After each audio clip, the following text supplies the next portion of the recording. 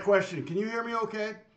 Um, I just realized that I had this other input on, and let me know if this is better sounding or more reverby. That's this microphone. Can you hear that? I uh, I can I can move this mic more into position, and then maybe you can hear. But it might I don't know if it's going to distort. Hear my voice better, and it's also kind of in the way of my hands. That's why I've not used one of those mics uh, for my live stream. So, and I can turn up the mic on the camera, which is this one. We have a ways to go there. But sometimes when I'm playing like drums and tracks and things like that, it tends to uh, distort. So, so here's with this mic on right now.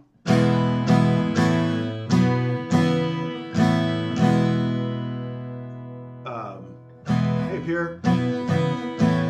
Think I saw you were here last week or a couple weeks ago. Um, and then this is without that mic or without that input. I'm not even sure. Well, I know for sure it's this mic. I just don't know if it's going to you or if it's helping or hurting. And I can, I can, like I said, I can bring it into play, uh, but I just get it out of the way of the.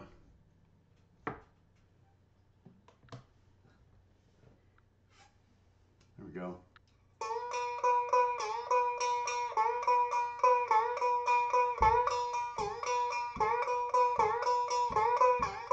There's the free range groove on the Gobushan. It's a B note. You can tune it to whatever note I want, but. Um, I got this guitar out just because I feel like you guys haven't seen it in a while, or maybe never. I don't know. I don't know if I've ever used it for my live stream. Okay, let me see who's on and say some shout outs, give you guys some shout outs so you can feel special. I'm, you little people. I'm so Hollywood. Uh, hey, Sam, good morning, good afternoon, and pleasant evening to those across the pond. Indeed. I know, I wish we got some Australian viewers, but it's like 3 in the morning there, or 4 in the morning or something. So, uh, Bob Schumann, good to see you. Dennis, thank you for helping out there with the bots. Paul Meyer, lurking and working. Uh, JP, good, good. Uh, Lena, great to see you. Yeah, so we're gonna work on this free range groove, um, and it, it's a it's a groove that. Um, hey, Fuller, uh, I I said uh, is Angela Fuller. Okay, Angela, good to see you. JP uh, said hi. Let's see. Uh, Dennis, I don't need to say hi to the XYZ person. Uh, David Sillers, good to see you in Scotland, I believe. I think, I think Beth and I may try to visit Scotland next year. We'll see. Uh, Paul, and I saw, okay. Uh, P- oh, yeah, Pier, Pierhead and Holly's in the house. Uh, sorry I'm late. Michael, Matthew, what's going on? I just sit through 25 seconds of ads. Oh, shoot. Well, sorry. I do put non skippable ads, but I thought the max was 15 seconds on those.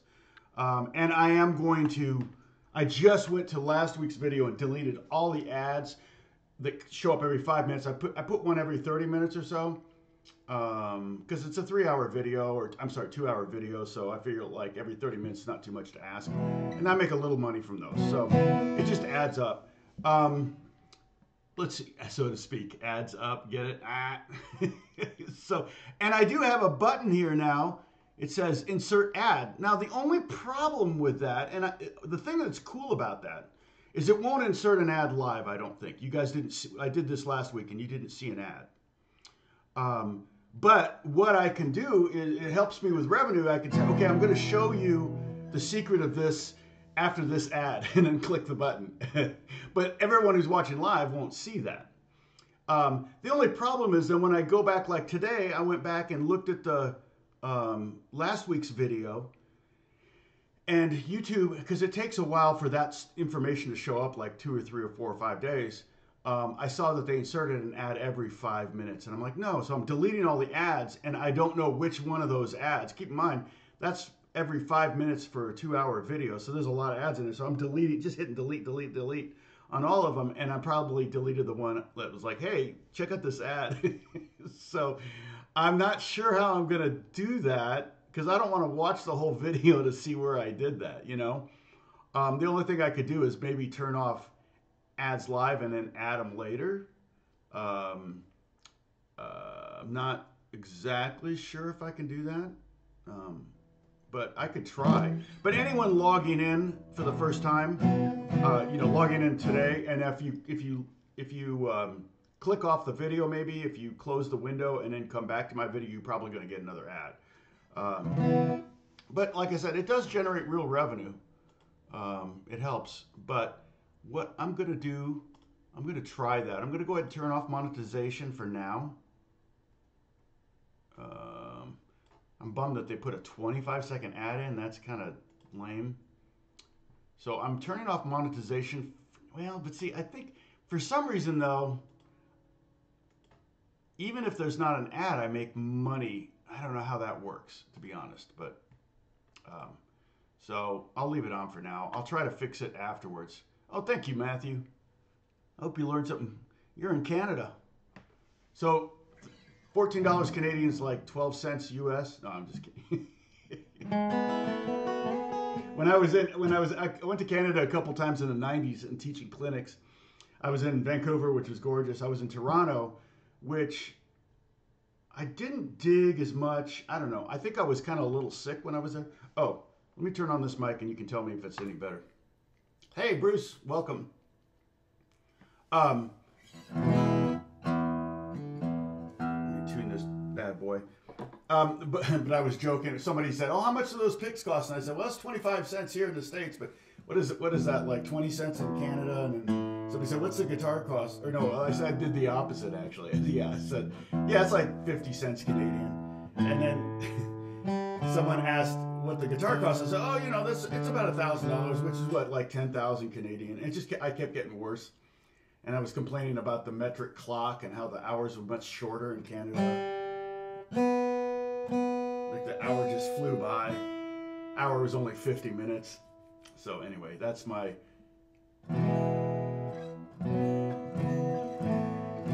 Tarina, Toronto. Okay, that's better.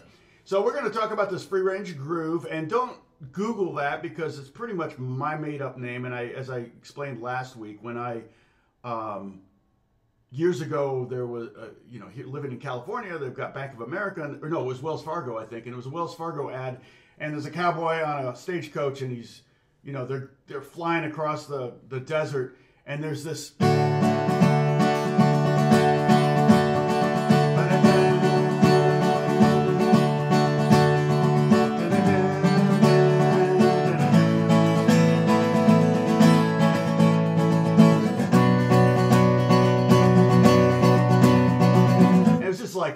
gosh, that's a great groove. So, and it just, to me, I probably should have called it open range or something, but it just, it found, you know, it sounded like just what it, exactly what it was in the visual, which is like riding a horse across the, you know, across the plains. And, um, and so I just kind of developed that groove and I've used it a lot. It's very common. It's actually,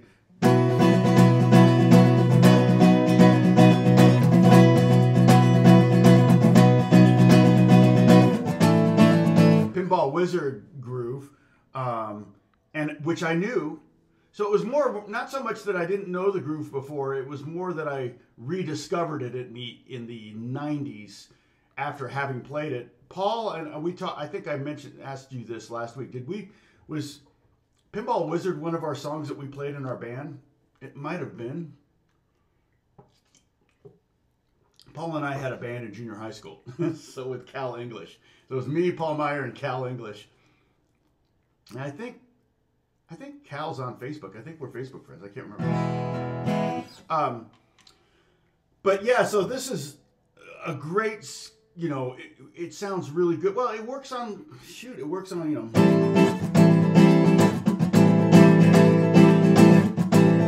It works on bar chords too, but I just like it on big and this guitar is a perfect guitar for it.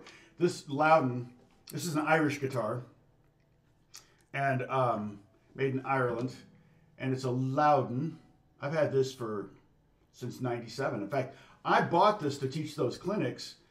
I've told you this before. I'm sorry. I know it makes you mad. But then I got a, a like a call from Taylor Guitar saying, "Hey, what guitar do you want for the clinics?" And I went, "What?" they go, "Yeah, we're giving all the guitar players free guitars to use for the clinics." And I'm like, "Really?" I've never given gotten a free guitar. Still, I haven't since. I think that's the only time I ever got a free guitar. And um, uh, and so uh, you know, I just I didn't really know at the time. I didn't really know Taylor's because because they were one of the sponsors, so they wanted us to play Taylor guitars. Um, and so I, I didn't really know their catalog, and I said, "Well, what is everybody else getting?" And they said, "Oh, everybody's getting 814s." I'm like, "Okay, send me one of those." So I, you know, it was a very nice guitar, but I had just bought this guitar like the week before, so that I could um, uh, use it to teach clinics, and um, my Gibson Dove was the pickup didn't work very well in it, and it was kind of big, and I this is a little bit smaller, and the case is a little bit smaller, and um, so this was this was technically the second acoustic guitar I ever had. So. yeah, right, my Matthew. Yeah, I can't I can't do the man. Yeah, I wonder if I wonder if Pete Townshend's ever had rotator cuff surgery. my friend's getting getting it next month. It's like my mom had it. She fell. She's like she was in the Caribbean and she got, got out of the shower onto the um, tile and it was wet and she slipped and fell and landed on her side like this and tore her rotator cuff. And she said it was the, the rehab was horrible. The rehab is so painful. Um, I don't know if I'll tell my friend that. I'm actually going to be playing with him on two Wednesdays. So, but yeah, he probably knows. Everybody Googles that kind of stuff when you're getting ready to go under the knife. So, hi Jan, good morning. Good to see you. Oh, Cal's birthday is today. Happy birthday to someone who's not watching. How did you, did you just keep in touch with Cal then, Paul? That's funny. Oh, you because he you know you went on Facebook. It's, that's funny. I need we need to go. I need to go on Facebook and tell him we're like hanging out. Okay, so the the basically the thing you want to get down. This groove is 100 just solid 16th notes. All right, and the way you count 16th notes is one E and a two E and a three E and a four E and a. Say that with me. 1E and a 2E and a 3E and a 4E and a 1E and a 2E and a 3E and a 4E and a. Consequently, you're going to have downstrokes on the 1, 2, 3, 4, and the and of 1, and of 2, and of 3, and of 4. And the E's and the U's are going to be up. So it's upstroke. So you've got 1, E,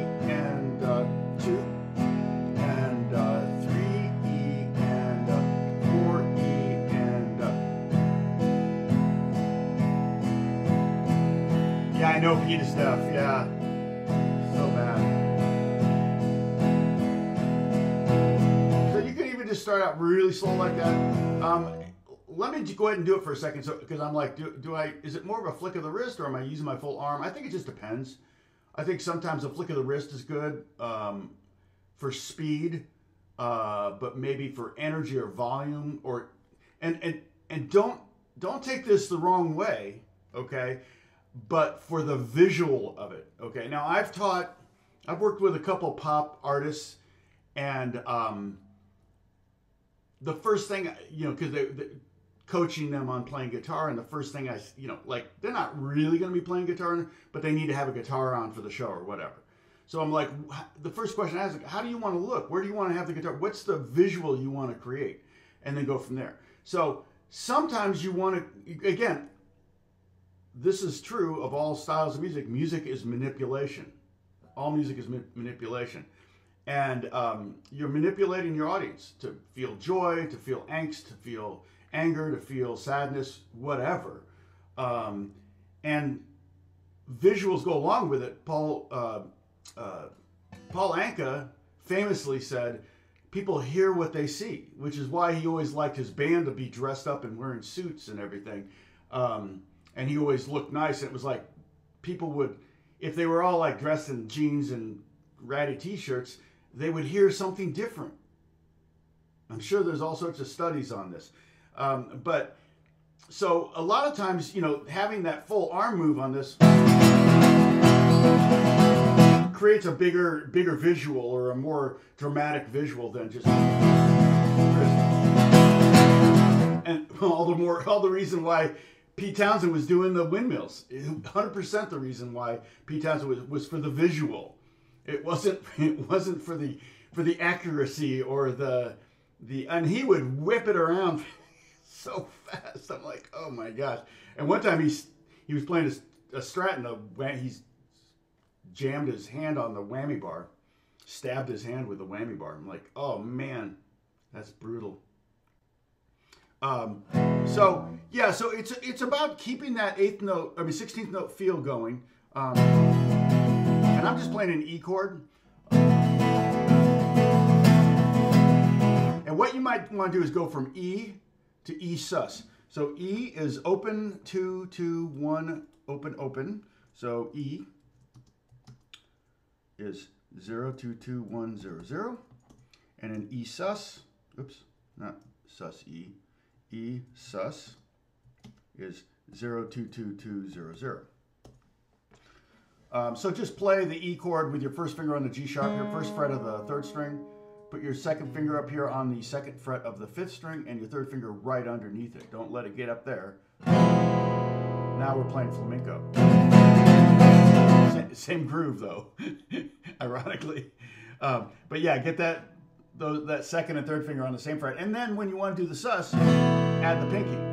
Now, if you want to be melancholy, we're adding the pinky on the, on the second fret. So all three of these uh, fingers are on the same fret, on fret two. But if you want to make, be more melancholy, you can go up to one more fret. so if you really want to, it creates kind of a Lydian sound, right? Uh, that gives us a sharp four. So, uh, but the reason I want you to go back and forth between E and E sus is so you it'll help you keep track of where one is because that's when we're going to change that. So I'm going to play it at basically full tempo just so you can hear what I'm talking about.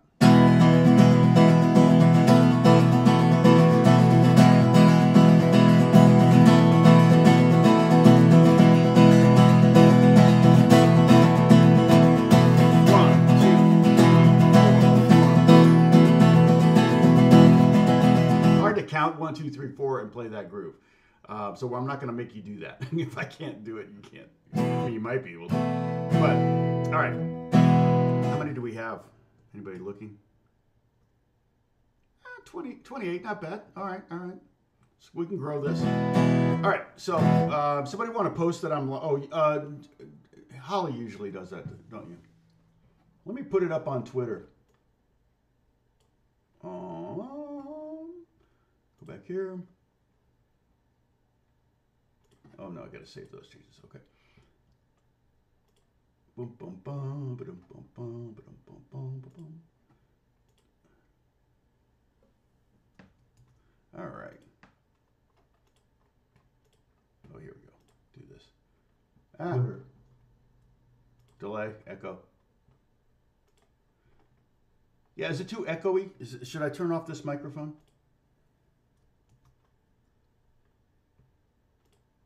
Um,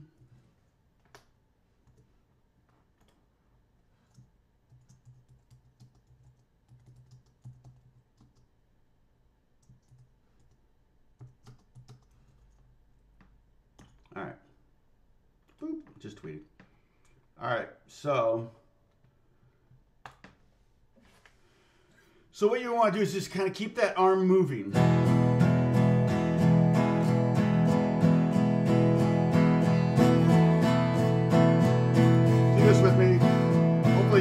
This one and two and, oh, sorry, one E and uh, two. And, uh, okay, one, two, real slow, one, two, three, four, one E and uh, two E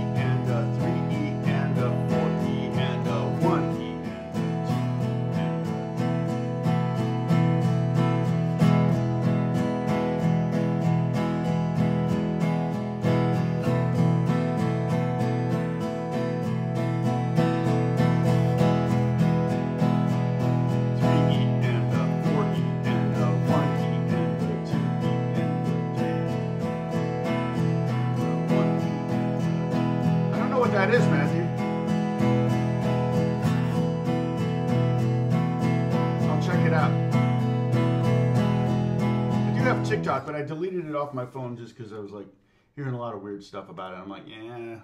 I mean, I'm not doing anything weird, but but you know, I don't necessarily want them to record every keystroke. Is what I was hearing. So uh, I'll I'll open a new window and put in Mastodon. Hopefully, it's not a porn site. Let's see, Masta, Mastodon. Let's see, I already spelled it wrong. Okay, on social media. Okay, I'll check that out.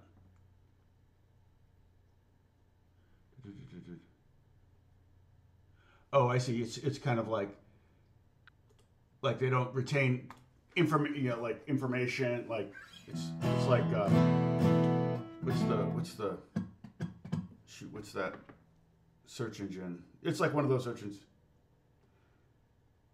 Yeah, I'm gonna order a uh, orbital sander. I got we Alex and I have a little project going. Oh, and I got oh, do you do you see the new instrument back there? Can anybody see it? Let's see. There, there's several new instruments back. Yeah, well, not several new, but there's there's a weird instrument.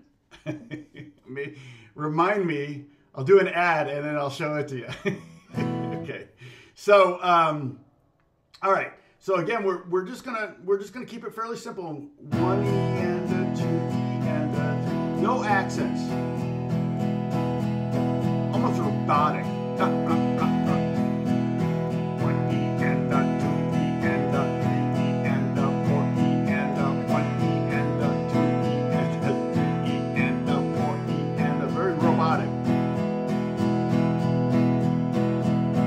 Now, this may be one of those patterns that you can't get and then suddenly you do. You ever had that happen with anything? You're like, oh man, I'm trying to do that. How, how do I do that? How? And then you do it and you're like, how did I do that? that happens to me all the time.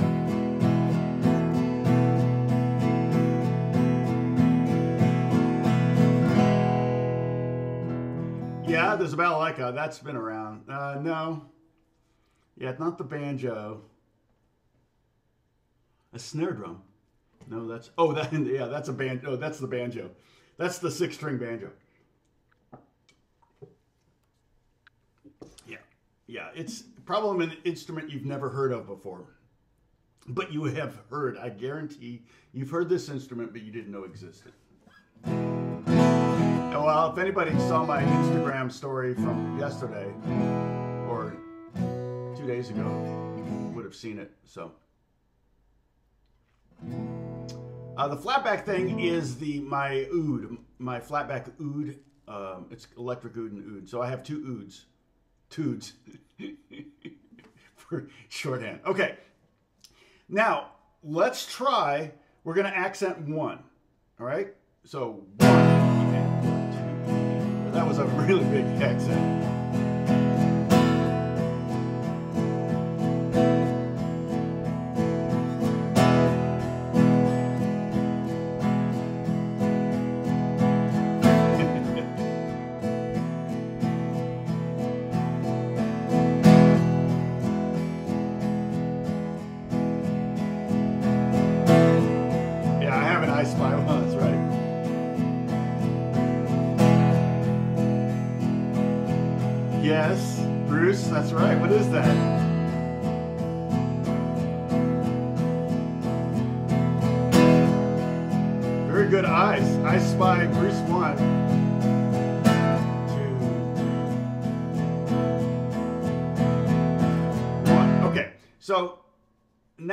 Want to do is so basically this is oversimplification oversimplification of the pattern but it's we're kind of alternating down accenting a down and then doing three strokes and then altern, uh, accenting the up and then the down and then the up and then the down and the up.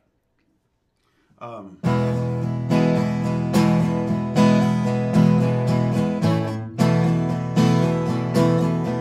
that's kind of what the pattern is basically but if you if you run the numbers, 16 is not divisible by 3, and there are 16 16th notes in a bar. So we're going to have to do something different in that last at the end.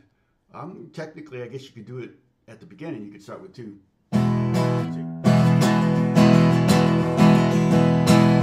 could do it anywhere. I never really thought of that. Now I have moved the accents, and we'll talk about that too. Um, uh, but what we want to do is accent. Okay. So down, up, down, up, down, up, up, and that's the that's the second note we're going to accent. So that's the one e and uh of beat one, the one e and uh, one e and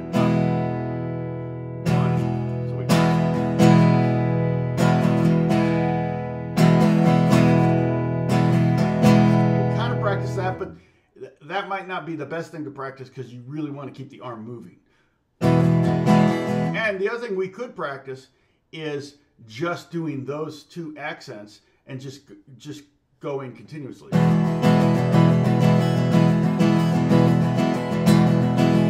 that would be more of a 6-8 feel.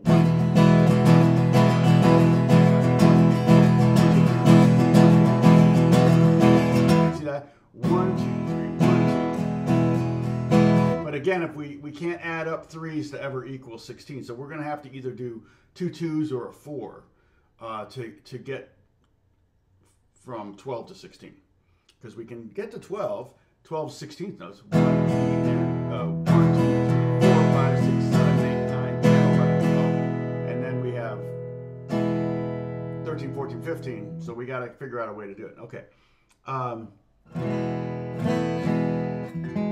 it's it's a survey rod that's been turned into a guitar.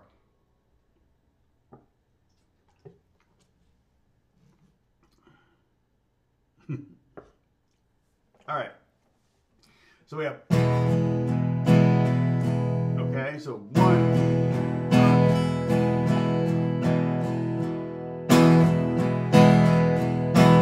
So I'm just gonna do. uh, It's it's hard. So let's try to do six beats. Like that. All right. So I'm just down, up, down, up, down, up, but I'm I'm ending with an upstroke here.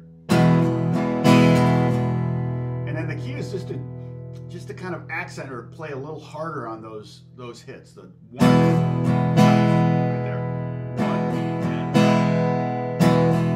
Now I wonder if I have notation for this somewhere. I, it's probably already up at Discord. Um,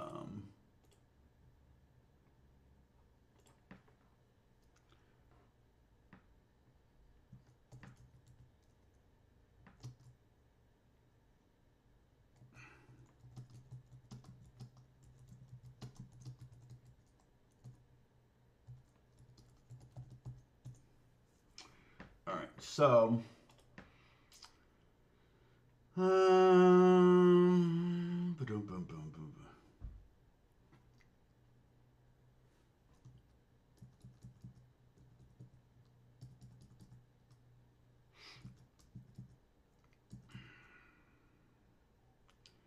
Uh, let's see, where would I put that?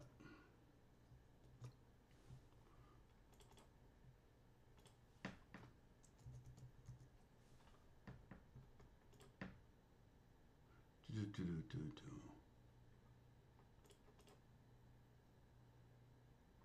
Well, oh. Yeah, it's a mention. No. All right. Not seen it. I, uh, uh, but there may be something, like I said, in if you go way back, because we talked about this before. Um, okay. So back to sorry. Here we go.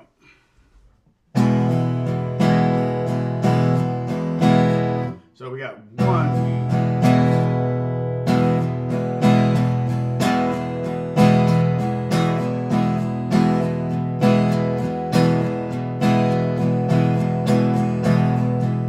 Uh, the thing below the, uh, usually it's facing the other way, but the thing below the resonator is a cümbüş.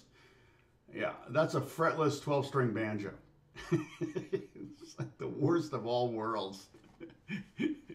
Well, at least it's a 12 string. You don't have to worry about being in tune. and it's not tuned, it's tuned weird. But I use it. I like it. It's hard to play. Hey, Philippe, what's going on? Good to see you. Welcome.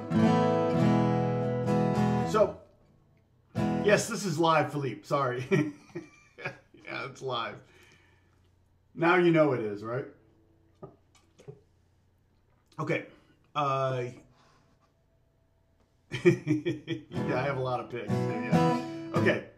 So, um,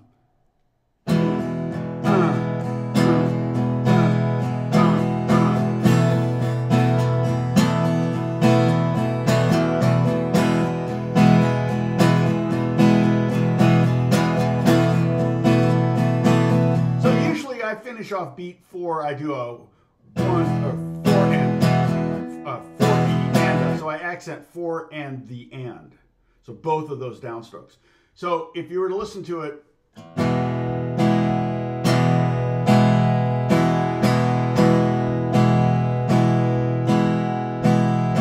are the accents.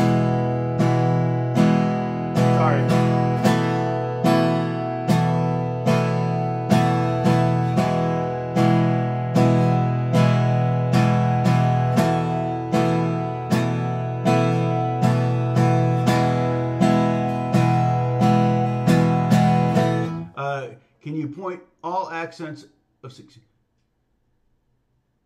Yeah. So, um, can I point or play all accents? Yeah. So if you if you start out just playing, so we have one E and a two E and a three E and a four E and a one E and a two E and a. So I'm trying not to accent there. Okay. So slowly.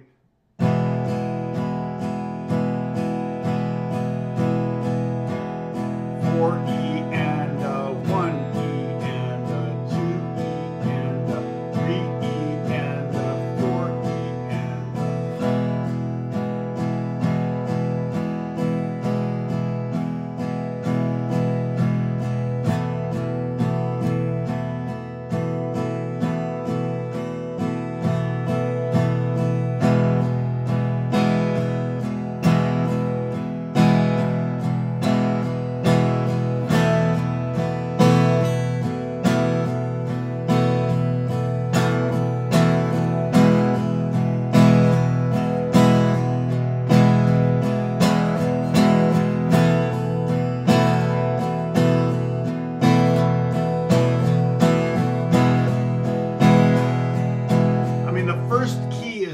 arm moving. You'll notice my arm never stops moving, even if I only hit the accent. So check this out.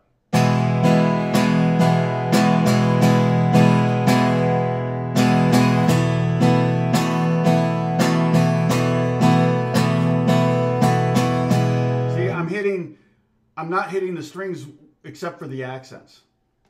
So it's still. Yeah, I'll, yeah. Lena, that's, yeah. So I'll keep doing that. Um, I may have to even go slower. Sometimes you get too slow and it almost becomes impossible to hear it. But again, another way you can think of this is uh, if you want to kind of subdivide it, and this not this is not a wrong way to think about it. Okay. Um,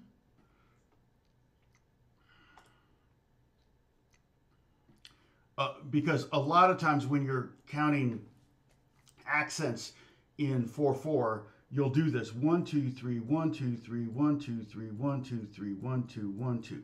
Okay? So what that is, if you add up those numbers, you've got 16 numbers. And that's that would be a very flamenco way of thinking about it, right?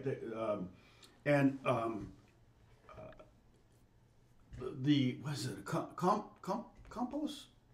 The the uh, metronome that flamenco players use is a weird 12 count thing. Because a lot of the the um, flamenco grooves are in groupings of three, either 6 8 or 12 8 of some kind. And so there's there's a lot of triplet feels in flamenco music. Um, and so, but a lot of times if you're counting like seven eight, you might go one two one two one two three one two one two one two three one two one two one two three would be a way to count seven eight. Um, four, eight uh, four four you could count one two three one two three one two one two three one two three one two. That's four four, but it's just putting the accents on different beats on on one and the and of two and then on four, and that's kind of what we're doing here. We're, but we're these are sixteenth notes. All right.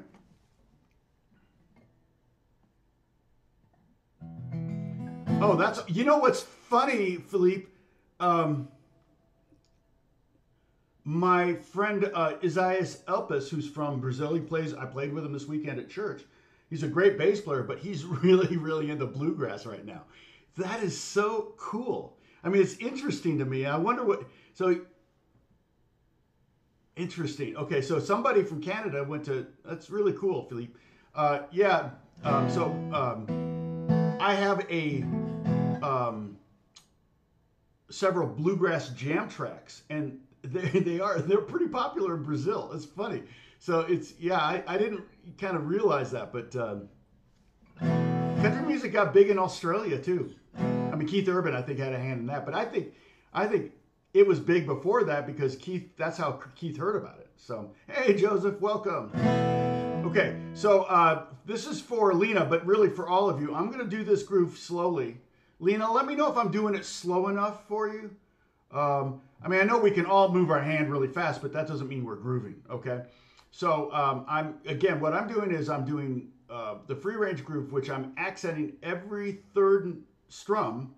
So it's going to alternate between a, up, a downstroke accent and an upstroke accent. But again, we have we do that three, four times, and then we we're at 12 uh, 16th notes and we have four notes to go. So we have to figure out a different way to subdivide that. So I'm going to basically do one and two, or one and, uh, sorry, one, two, one, two. So I'm going to accent four and the and of four. Like that. Okay? All right, so here we go.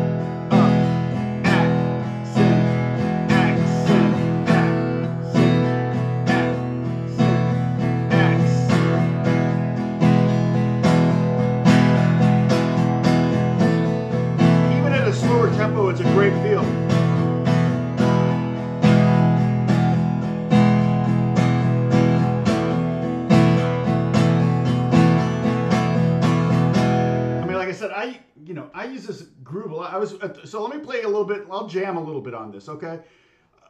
One of the best ways to learn something in music is to listen to it.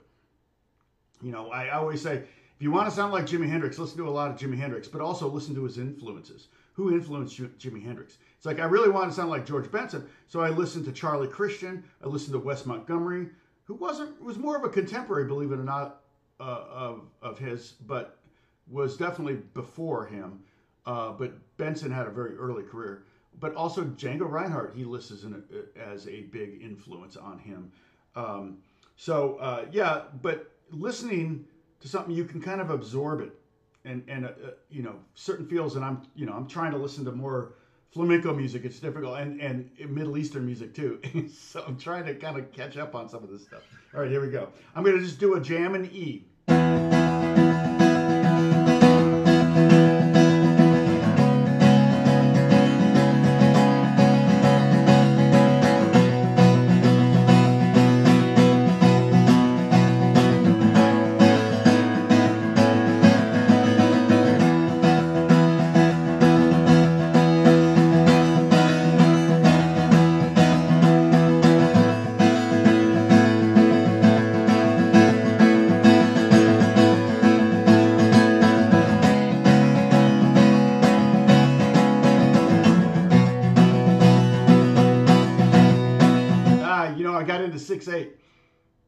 Dang it, I hate it when I do that. it's hard when you're by yourself. Okay, here we go.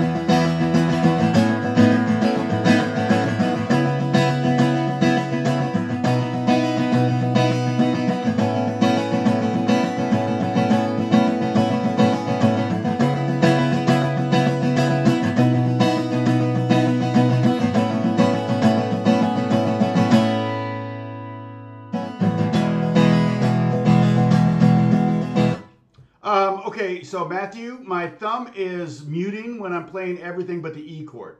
Um, so when I was doing this, my thumb's doing nothing there. But when I go down to this, I'm just taking, playing an E power chord. Okay, so this is what I call an E5 chord. It's pretty common nomenclature now, but at the time when I came up with it, I'd never heard anyone say it before. But I'm playing 079900. Okay, but then I'm playing C sharp minor seven this way. I'm playing, so it's C sharp minor seven. I'm playing nothing there, so I'm muting with my thumb, and then I'm going four, six, six, zero, zero.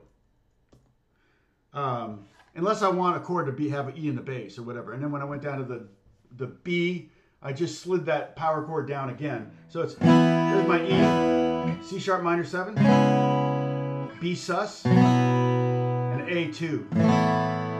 And yeah, I'm definitely muting. If I want to, I could hit, get, grab that F sharp, or I could get.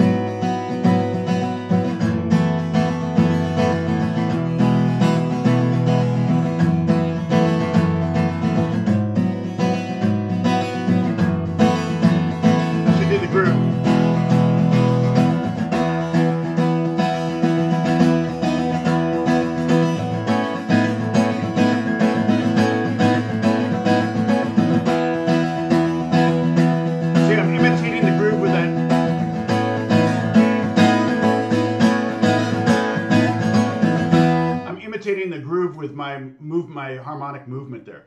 Uh, so there, I'm, I'm playing open, uh, nothing on the bottom string, so muting that, and then I'm open A, seventh fret, sixth fret, open B, open E, and then I'm moving, moving that back and forth, and it gives me a very A Lydian kind of sound, which A Lydian is relative to E major, which is the key we're in, so it makes sense. But again, that's the that's the tug at the heartstrings chord, right? In a movie, if that happens, you know, it's like, oh. Know.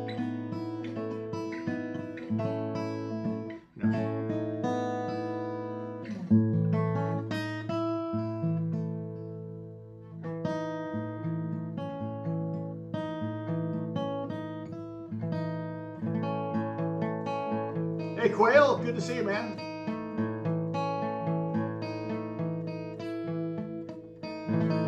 So that's just a really, you know, you're just you're just trying to manipulate people, you know.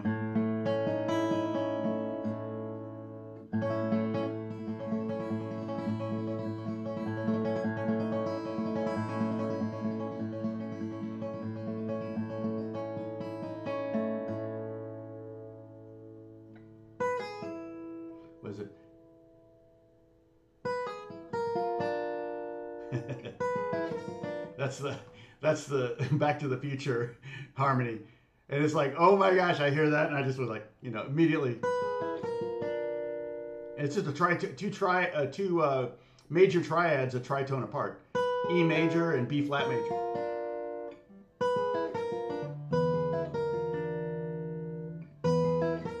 I'm working on a video. I'm almost done editing it, although it's the bummer about the graphics, I'm doing screen grabs of the, the my notation, and of course the, the graphics aren't the same size, and they kind of so it's not going to be perfect, and it's going to be a little bit more for the intermediate guitar player, less for the beginner. But it's I'm talking about two five one progressions, a trick to a way to to play over to kind of get started on having ideas for playing over two five one. So anyway, that's what the video is about. I'm probably going to do a follow-up video where I do just a bunch of them at tempo and then slowly. Um, and uh, anyway, um, that's that's may drop. I'll probably finish it today, but I'll and it's I'm not going to make any money on that stupid video. I'm spending so much time on it. I'm like, these, more advanced videos, you know, I'll get like a thousand views, two thousand views, and it's like, yeah, there's a dollar, two dollars, whatever. So. Um,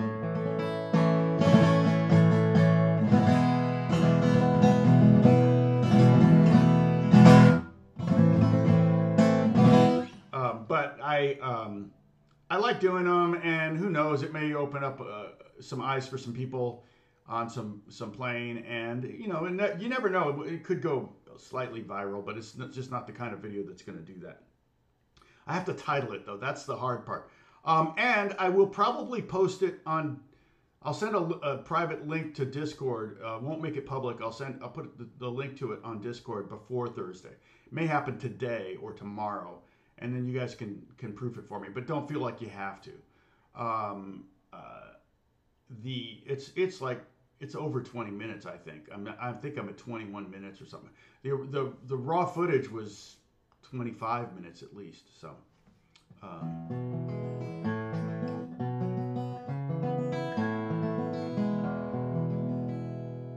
yeah, it's totally right, Sam, isn't it? Isn't that amazing? Especially over in E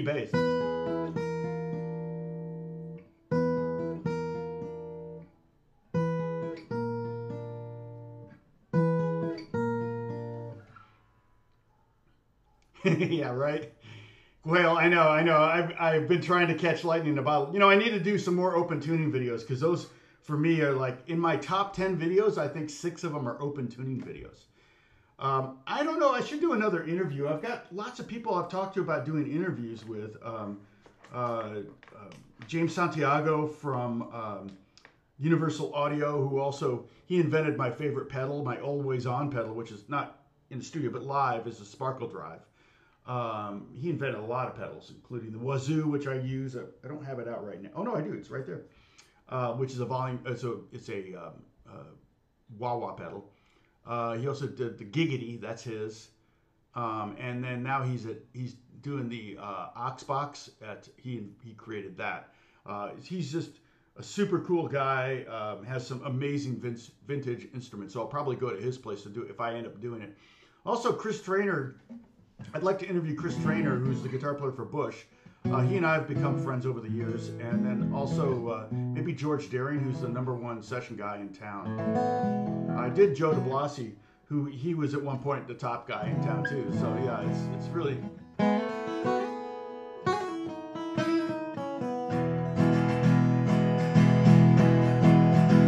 on that beat four, you could do one, two, three, one, two, three, one, two, three, one, two, three, four, one, two, three, one. You could hit a big four and not have to accent two eighth notes in a row. Uh, the other thing is you could accent all of them. Uh, that would sound something like this, like. You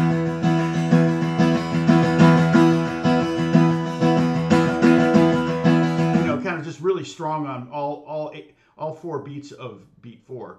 Um, but if you just did beat four, it would sound like this.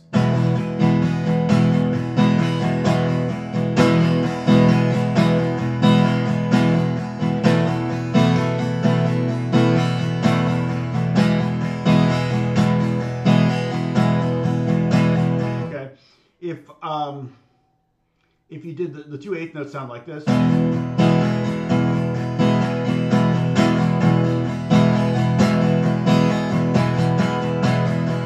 I, I, you can alternate between. There's no rule or anything like that. You can kind of go back and forth between those. You can do whatever you want, what, or whatever just happens.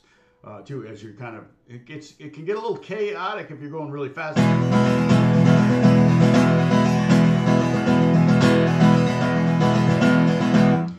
Thing too you could do is at least on the downstrokes you could hit the bottom few strings only and kind of create this bass chord, bass chord kind of thing.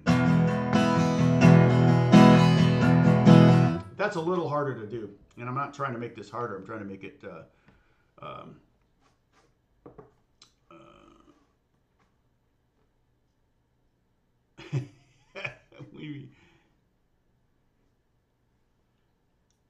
uh, let's see.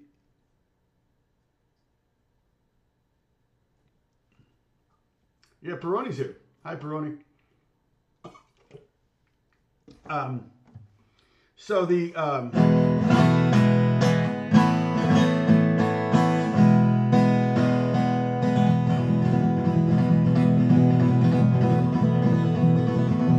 that's just triplets. Um, and I shouldn't do I shouldn't do that on on on a steel string guitar. Although at least these elixirs are a little softer, so they're not digging into my nails as much. But yeah, that's more for nylon instruments.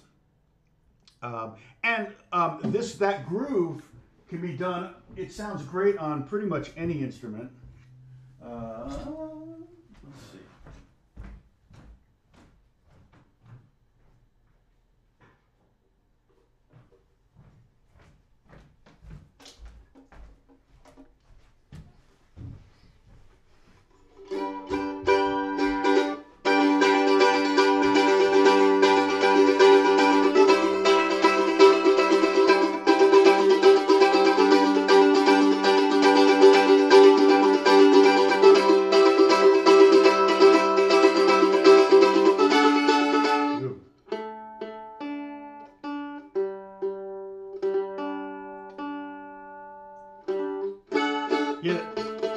I'm in a, I'm hunting for a new mandolin. This is a super duper cheap mandolin. I need a better one.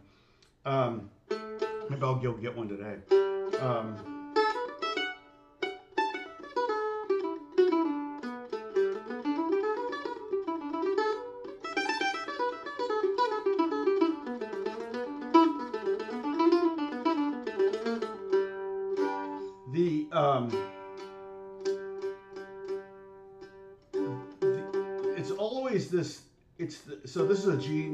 string here. It's when you play that, it goes sharp. This it's like that could be perfectly in tune, but this note usually is sharp.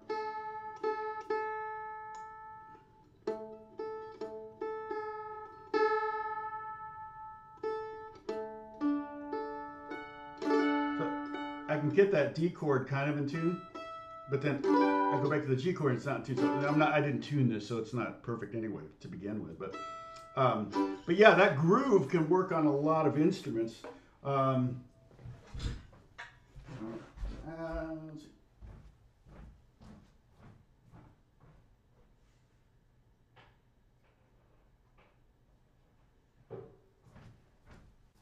I know you're waiting to find out what this is.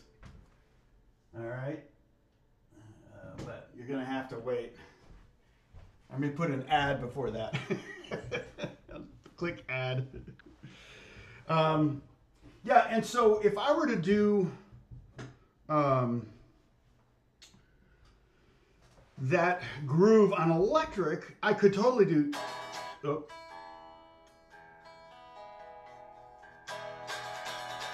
I could totally do kind of a strumming thing on electric with open strings or whatever. I could totally do.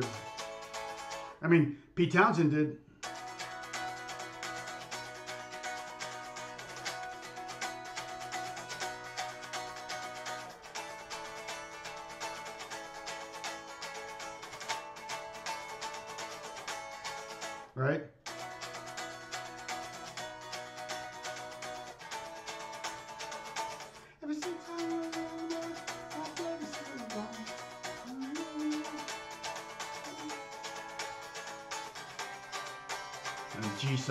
G, and F sharp sus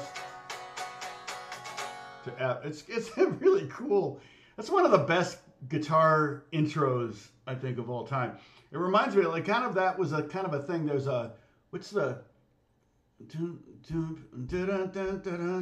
Chicago, you know, really cool. Um, or like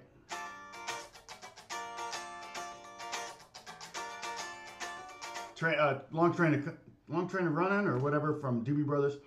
Um, but what I would probably do, okay, get ready to take another sip. We have a drinking game. Take a sip because I'm going to switch to the Tele. Oh, got to pull up a sound here. Hold on. I was mixing a, a song for with a friend. Let's see. I need a. I need um. So I'm just gonna do like a clean sound.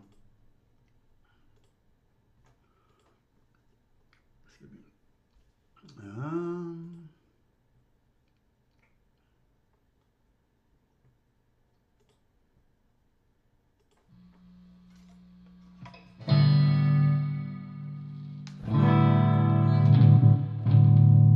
Dirty pot. Get rid of this compressor. Need to reset this. There we go. Get rid of the reverb. Turn everything down. And then tune. So um, here's how a way to play that, and it's really a cornerstone of how I play rhythm electric in R&B and funk. Um, and I guess in disco too, if I were to ever play disco again. Oh, I've done disco stuff recently.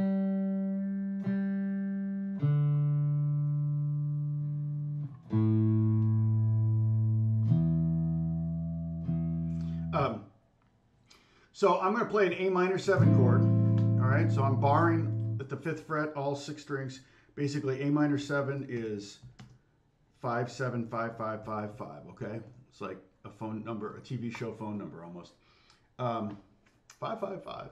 Okay. And what I'm doing is I'm I'm just laying my fingers on the strings, and I might you might even pick a different chord like A sharp or B flat because you're less likely to get overtones. But, I'm not too bad right now. Um, but basically, this one E and a two E and a three E and a four E and a one E and so I'm doing the exact same. But instead of accenting with the right hand, I'm going to create the accent with the left hand by squeezing the chord. So this is that same groove, but done in a funk manner, okay? A, a funk way.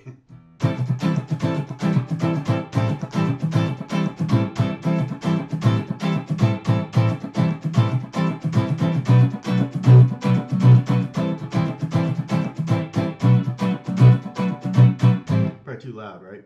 Okay, so so what I'm doing is I'm squeezing on every third. And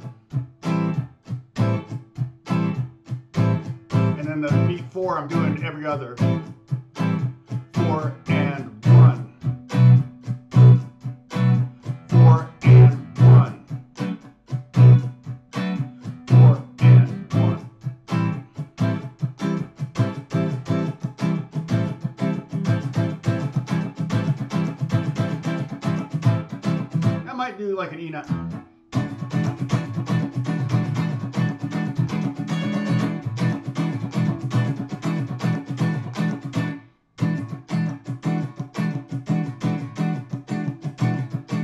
If it's too loud, it just distorts on your end. So.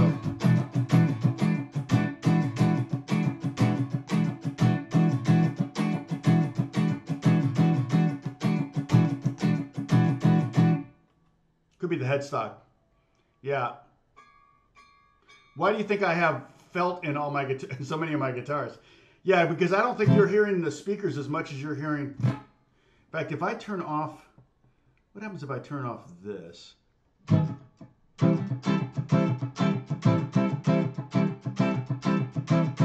But again, in slow motion, I'm squeezing when I want the accent.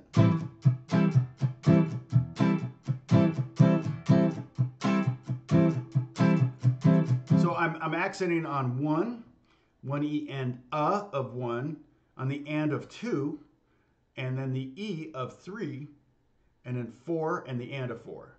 Okay? Don't don't worry, there won't be a quiz on this. Check this out. I'm going to move the accent over and 1 16th note. So now I'm going instead of accenting on one and the uh, the uh of one, I'm going to accent on the e of one and on two, and then then the uh of two and the and of three. So it sounds like this. Uh, so it'd be a. Uh, so before it was.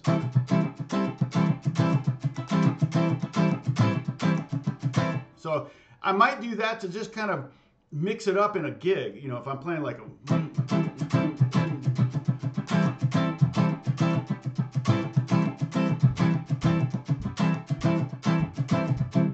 You know, if I had like a. Uh, uh, what tempo is this?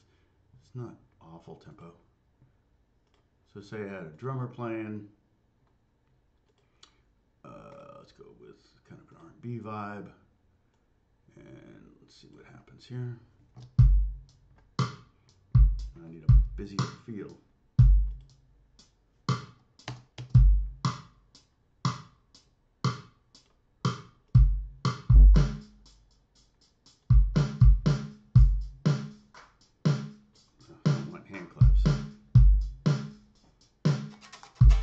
Yeah, that's pretty fast.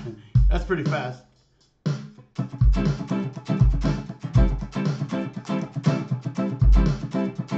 That's starting on the downbeat. Three, four, one. But if I moved it over 1 16th notes, it sound like this. One, two, three.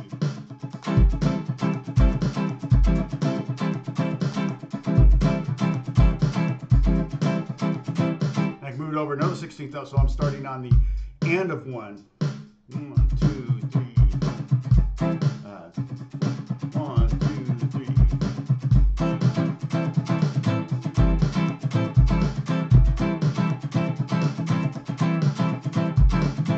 Start on the E of, or one E and uh, the uh of one.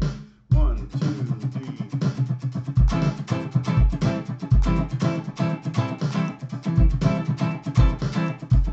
Ah, four, one, two, three,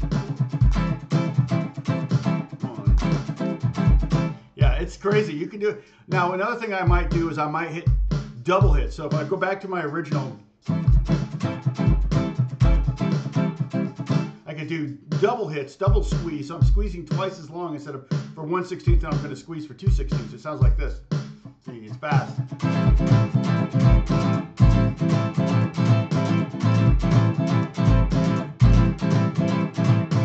And that's the same, ultimately the same feel as that free range groove. Where's the guitar? Here's the guitar. So check this out. I'm going to play the free range groove, but I'm going to move the accent.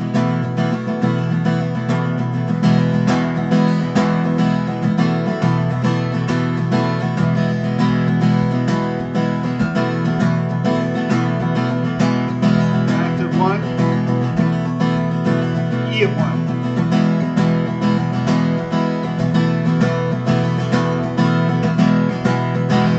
Kind of fun. It's fun to try that. So if you really have this down, if you can really play it like uh, you know, a hundred times, a hundred measures in a row without getting all jumbled. it's not easy. Then you can start to mess around with starting. It's almost one of those things where you almost have to hear it and then you just imitate it. Um, if I move it to the eighth note of one, it would sound like this. One, two. Here we go. Back. One, two, one, two, four. That was.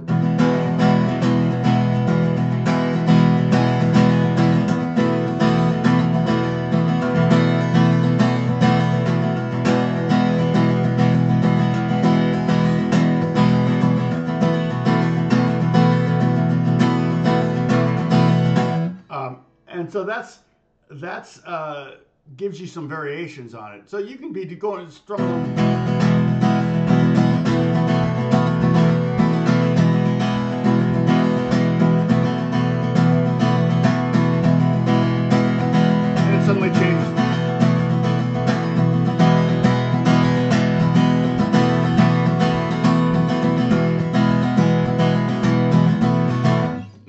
Um, that and one thing you can do too, which is kind of cool, is like D. You can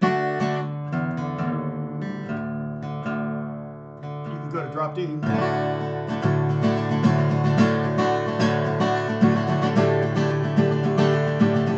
Which gives you a really big sound, and it's it's again it's kind of that free range Wild West kind of vibe. Um, they may have actually used a drop D on that commercial because the song was in D. I, I remember it.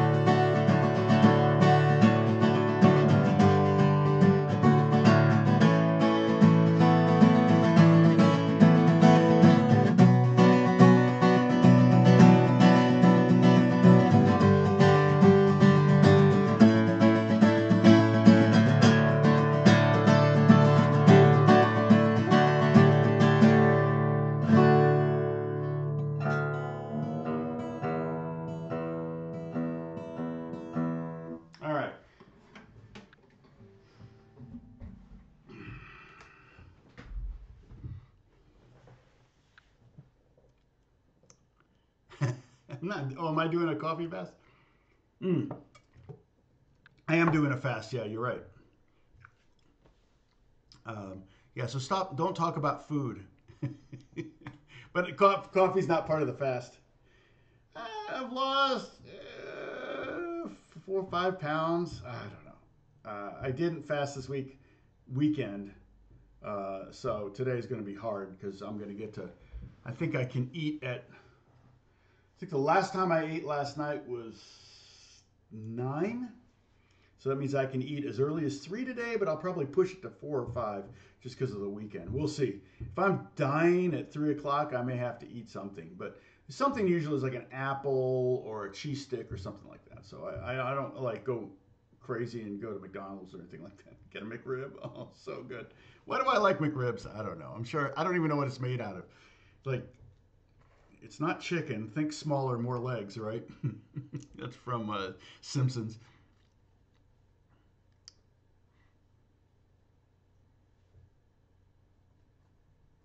Yeah, exactly.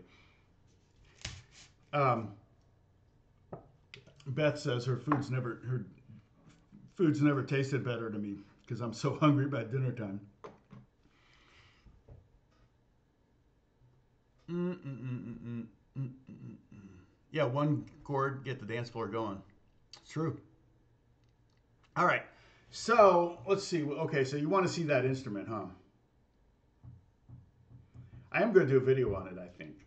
We'll see. I talked to the manufacturer. He's he he doesn't make really want to make it a lot of these like so and I don't know if I did a video if it would result in orders or not. Um, but I don't think there's a lot of videos on this instrument up on on the um,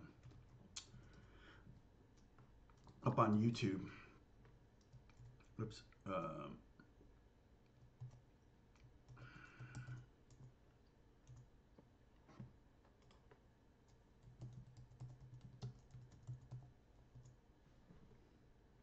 let's see. Yeah, there's one, two, yeah. Oh, pr- prototype here.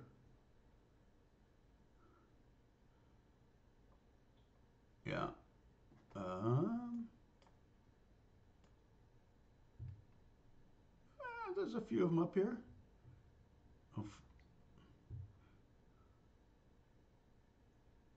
Mostly the same person, though.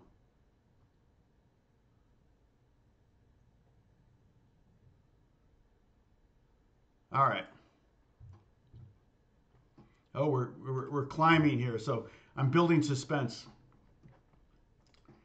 All right. So I'm going to send you to an ad. Let's see if this works. Not you. You're, I don't think live you're going to get an ad. Uh, but for those of you who want to see what this instrument is back there, uh, stick around after the ad. All right. So I think I just inserted an ad.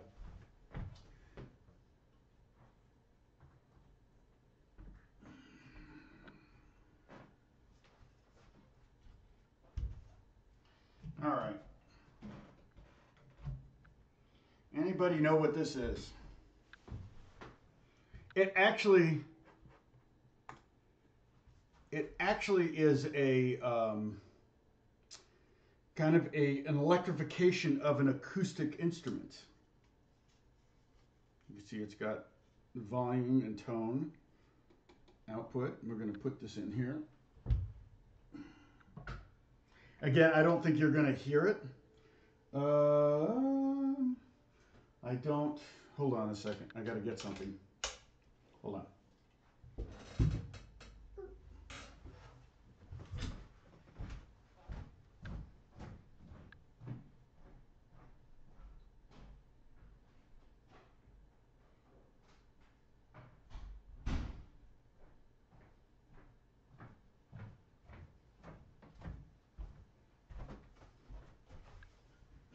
Actually, he did great workmanship on this.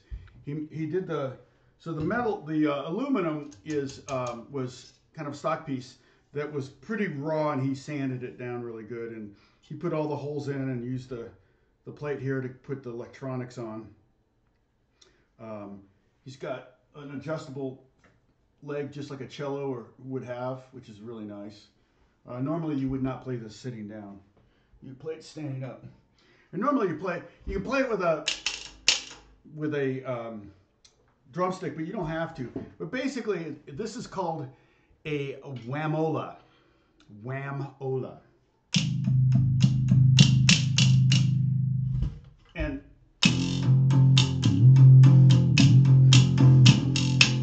it's kind of like a wash tub bass. It's a one string bass, but I can I can play fretlessly um, which I'm, you know, I'm really into fretless instruments. And you can't probably hear that very well. Um, you're going to hear mostly the. But the idea is to find the pitch you want.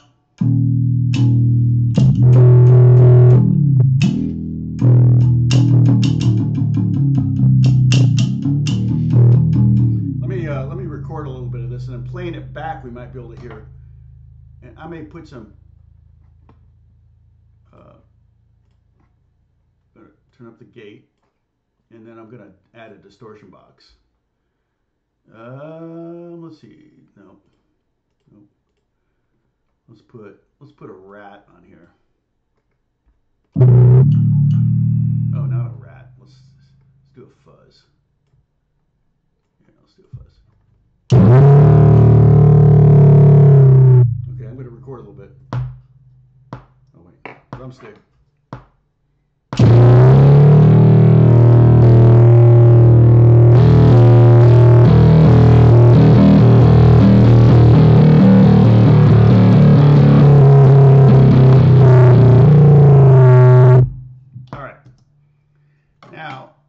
Recorded it, maybe you can hear it without hearing, because really you're just hearing it live.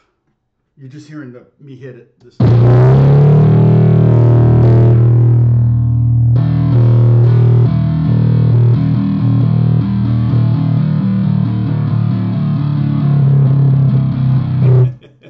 so, yeah, so it's what Les Claypool used to write the, the South Park theme.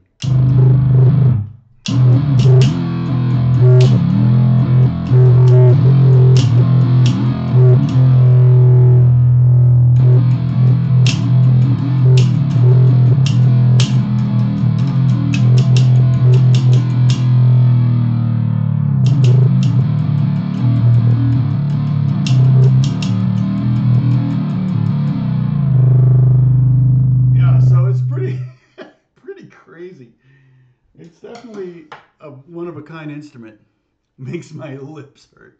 And if I take off the fuzz, uh, maybe turn back on the compressor, I don't know.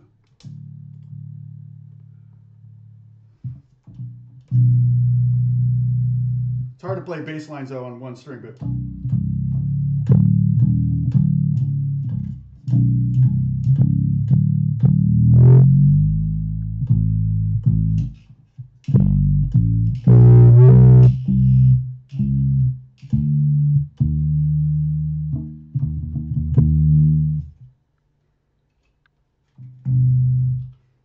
Yep. So it's definitely I will find use for it because keep in mind I play a lot. I do a lot of stuff on video games, so we're always looking for weird sounds. Um, and it works with a bow, which is cool too. So and you can see the mechanism there. see the bass tuner right there. Okay. You see that? Totally handmade though. He totally made all this wood, but the and you can see the wood finish. It's uh, gorgeous. It's very shiny. Did a great job. It's really clean. Made in Indiana, like me. I was made in Indiana too.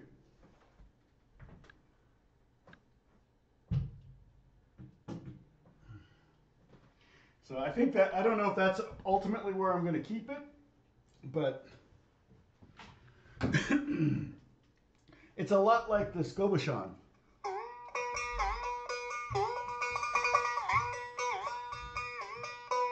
This is an Indian instrument, and it's kind of like a giant one of those.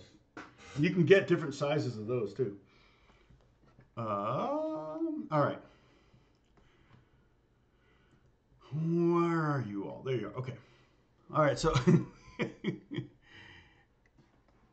yeah, it's very grungy. Sorry. Let's see. We're in LA. Oh, hey, Max. What's going on?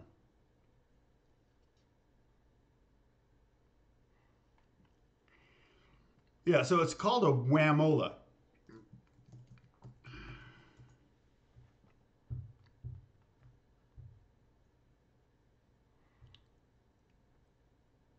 A Hoosier whamola. Just when you'd thought you'd seen it all. Exactly.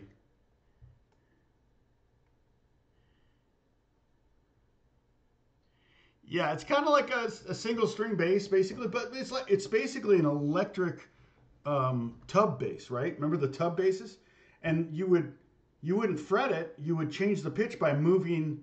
In fact, it was just a um, a, a tin giant tin washing tub with a hole in the bottom and a string and a um, like a um, a coat, uh, not a, like you know, just like a, a broom handle and the broom handle wouldn't even be mounted. You would just set it down on the edge of the thing and just pull it back, and that would pitch up and pitch down, and you would just find find that tone that you needed. It didn't have to be perfect. so, yeah, I have the best noisemakers.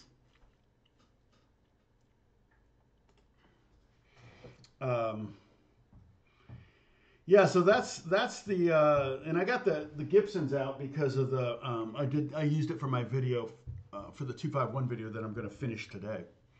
So um, so we were talking about the the the free range groove. And um, let me just do it a little bit more, and um, I'll slow it down, and you can play along with me. Uh, get your guitar tuned in close enough. And uh, we're going to go between E and E sus. That way you can hear where, where the downbeat is, first bar.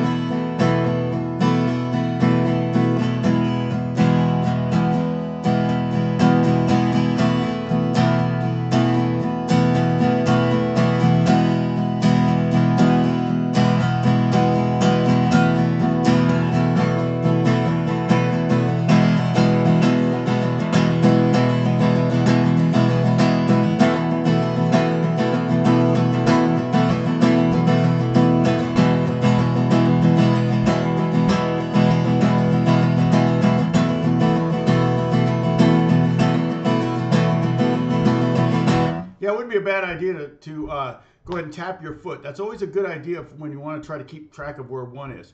Um, and I've actually had back in the day when I was teaching private lessons, I would have to sometimes kids would like over that groove they might go bump bump bump bump bump bump bump with their foot, and that's not what you want. You want one, two, three, four.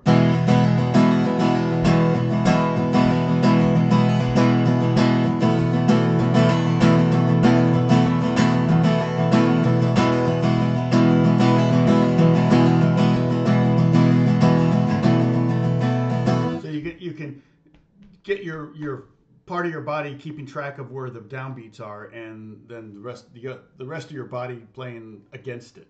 Um, it's kind of like patting your head and rubbing your tummy at the same time. It's drummers do this all day long. I mean, keep in mind they've got two arms and two two feet on everything, so they're all, they could all be doing different things.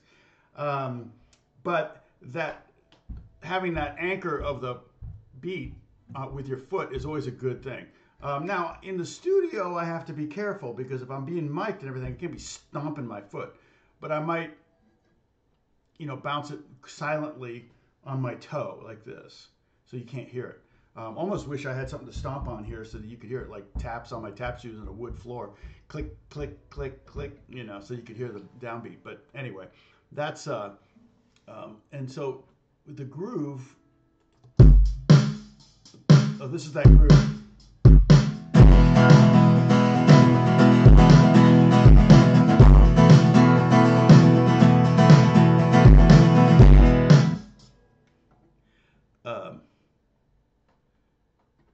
Oh, this guitar.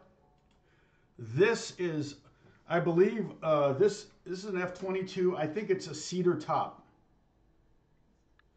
The fretboard's probably ebony um, or rosewood. Uh, let me look it up and see because I don't know. I, I don't know if Lowden still makes them. you can find them on Reverb. Um,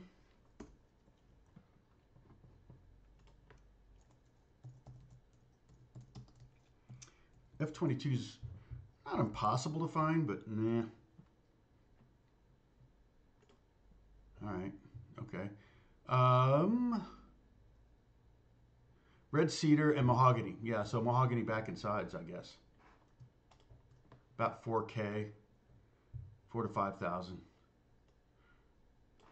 Um, yeah, mahogany back and sides, five piece mahogany neck, mahogany neck with ebony fingerboard, rosewood bridge.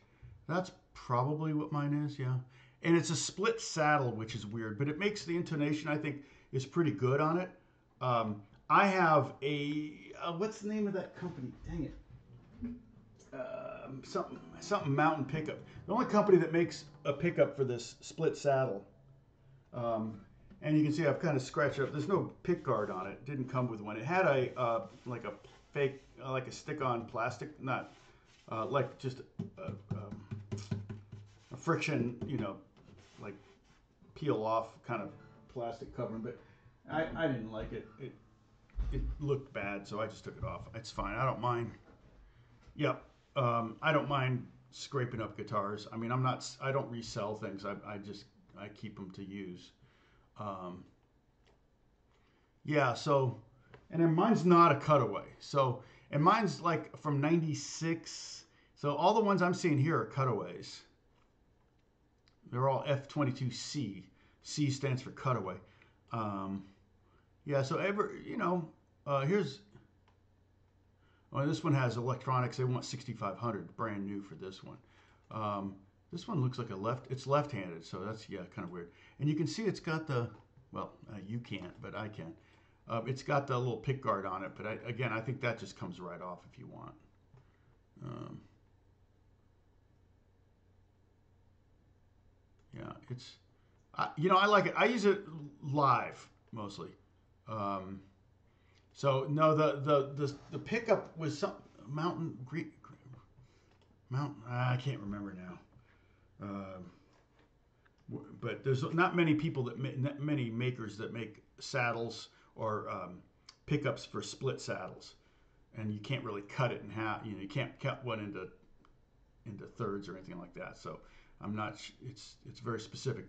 Um, and now this one's weird. It looks like the E string is longer than the other strings. Is that just an optical illusion? Oh yeah, it is. Okay. So yeah, it's it's a it's a it's a beautiful instrument. Um, uh, in fact, I just turned on my humidifier because a, a guitar like that's going to want a lot of humidity, and I haven't had it out in a while. And the top is starting to move a little bit, so it's you know at some point that's probably going to bow so much it's not going to be usable. Maybe in another 40 years after I'm gone. So, um, but yeah, what did we get to here? We got 36 at one point. A couple times we got 36. That's awesome. Anybody new here? We got some new people too. That was awesome. Hopefully they come back. Hopefully I didn't bore anybody. Um, and then as far as another groove next week, I, I may come up with another one. I don't know if you guys are digging this or not. Um, hopefully you're, you're able to kind of get it. Um, and um, you'll, you'll, you're able to um, uh, maybe use it at some point. I mean, that's why everything I try to teach you is something that you can use, I hope, or why teach it. Um, and like I said, I got another video that I'm going to try to finish today, maybe upload today or tomorrow, and then post a link in Discord so you all can, um, uh, you guys can kind of proof it for me if you want. Plus, that's the beauty of being a member of the Discord. You get free, you get to see it first without any ads. Um, that may be a mistake on my part, but that's okay. That's not that many. Uh, like I said, I don't expect to make much on this one. Um, and I'm probably going to make a follow-up video where I, I, show you a lot of these patterns. Um, but it's a, it's a little formula, a little trick. You know, everybody's always wanting these magic bullets and these tricks. And, and uh, I may call it the 251 magic bullet or something. but, uh, but it's, a oh, oh, uh, Phil, Phil asked for bluegrass drum lesson. Yeah, that would be probably, um, if you go to my, I, I can find them for you, um, my YouTube channel. If I, if you enter, um, let's see, content, what do I call it? Uh, standard folk groove. So, um, you know what? How many views does that have? Play tips for students. Uh, okay, let me try this again.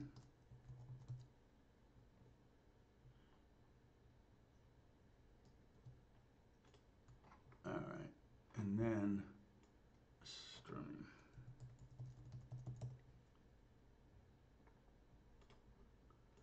So here's one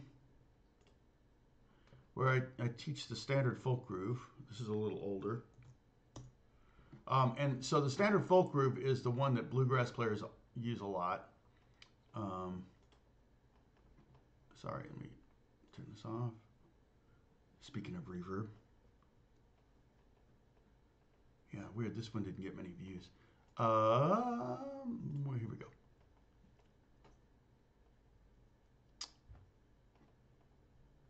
So I did.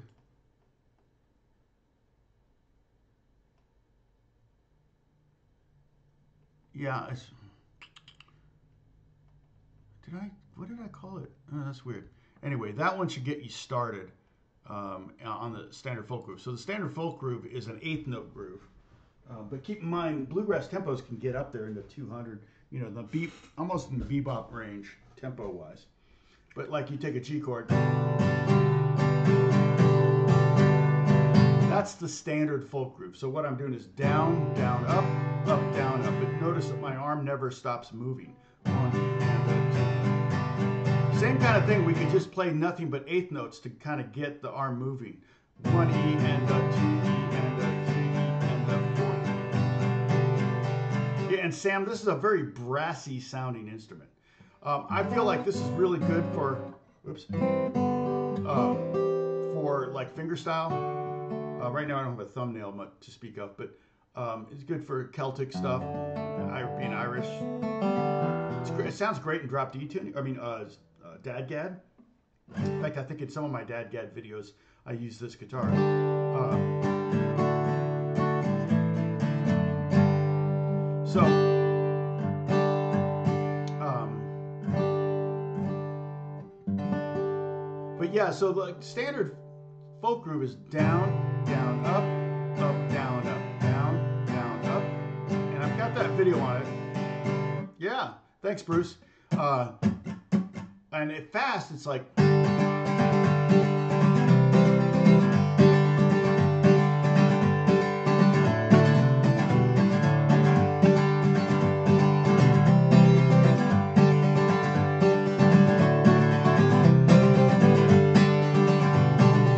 That's the same groove.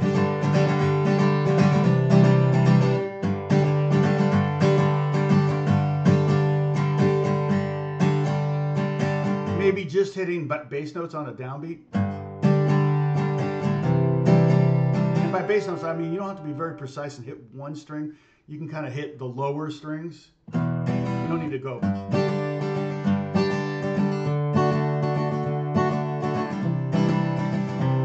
Well, that's a good a good skill to have. All right, being able to to quickly grab one note, one string, and then strum them all. That's not easy.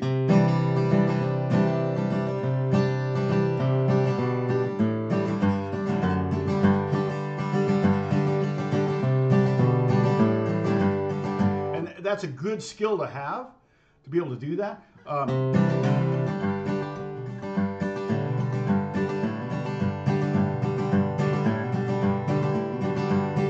easy to do that with a, just when the bottom string is a sixth string. Harder when it's the fourth string.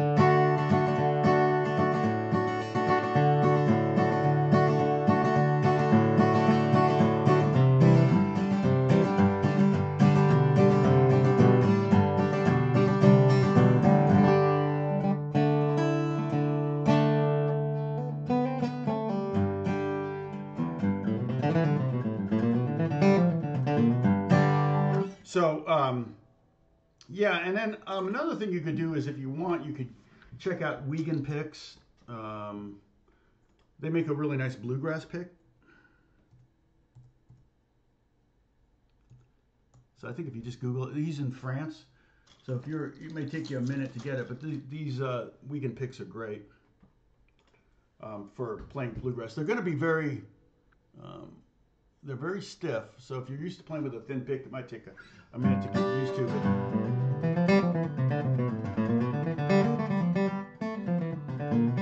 And then also, we did a whole long series on bluegrass, bluegrass soloing. I wrote, we wrote songs. Remember that? And, and Bruce, I think, sent you kind of some some starting points um, on the live stuff. It's like, man, did we did we do um, a ton of those? Let's see. So I'm just I'm just filtering my live. Yeah. So how many does it say? It didn't give me a number here. I mean, it went, we went for a long time. Intro to bluegrass, six, uh, 156. Yeah, one seven. I mean, one, literally, if you start at lesson number 155, I think Bruce sent you a link to that. Um, get a shareable link. Here it is, right here. You can start there and then just go to the next video and to the next video. Not, not that there's a link in the video. You might have to dig around a little bit to find these. But if you sort my, uh, if you go to my channel and sort the, um, if you sort the videos by name, if you enter the word bluegrass in there, that should help you. These are all says intro to bluegrass. And it was really, we just kind of came up with it as a group because, you know, I said, you know, what, what should I teach next? And they were like, well, what do you want to work on? I went, you know what? I'd like to work on my bluegrass chops because I'm not a bluegrass player. Don't don't think that I'm some great. I'm not even a beginner in some ways. I mean, I have good guitar skills that are transferable to lots of different styles. But if I got called for a bluegrass record, I'd probably give them somebody else's number. But if I'm playing bluegrass in a movie or a TV show or in a video game, which I've done all those, um, that's not a problem because it's not bluegrass. You know, when you buy a record, you listen to it over and over again. And so if there's somebody that's not quite up to speed with everybody else, you'll start to notice it. But in a movie or a TV show, no, because you're really in, those scenarios you only have to fool. You know, you're fooling 99% of the people. There's only one percent of your audience that's like legit bluegrass player that goes, uh, yeah, that guitar player's not very good, or at least not good at bluegrass.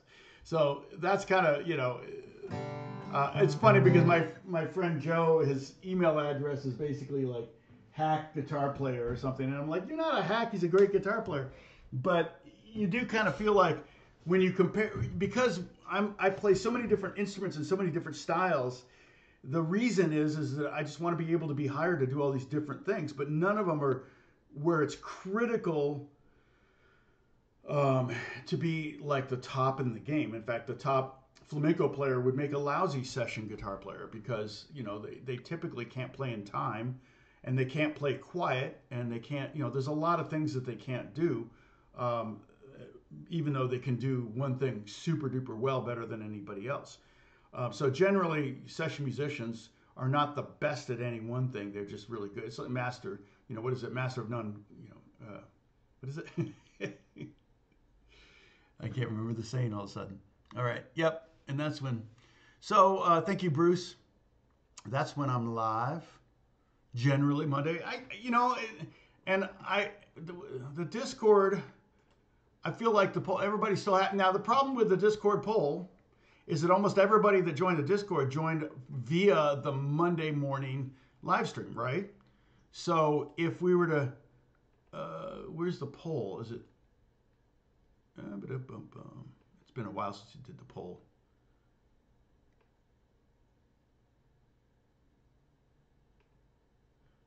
Womp womp.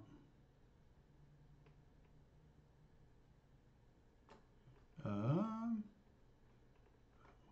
what tab did you, you do the poll on? Oh, oh, Holly promoted the live thing. Thank you. Um, when was? Oh, here we go. All right, yeah. So it looks like Monday's still the most popular, 16 to seven. So I didn't vote on it because I, yeah, it's irrelevant. And you know, Monday's probably easier. Saturday, you know, the weekends can be kind of crazy. So it's nice not having to have to do something Saturday morning first thing. So it's probably better for me anyway. It's just sometimes, like I said, the weekends can be really crazy. I get I get to Monday morning, I'm like, oh, I'm so tired. Uh, this weekend was not bad, but the previous weekend, man, was crazy. Hey, Chronic, what's going? Yeah, Jack of all trades. Thank you, Chronic. Chronic's been lurking all this time. Jumps in because of my brain fart. yeah, Doc is Doc Watson is freaking amazing. I mean, yeah, again, uh, Philippe, sounds like you're immersing yourself in it, and that's one of the keys. And I'm guilty of not doing that. Um, uh, so I'm telling you, you know, do as I say, not as I do. Um, I need to listen to more music. Part of the problem, just for me in general, is that I do so much music all day long. Um, and people are always saying, "Oh man, your house must be full of music all the time." And I'm like, oh, "Well, technically, yeah. When I'm working and when I'm writing, you know, like I've got this song that I did um, and I don't know if this song is going to get released. I'll let you know if it does. Uh, I'm not sure how she do. This is uh, for a friend. Um, she's um, a very good singer, and um, And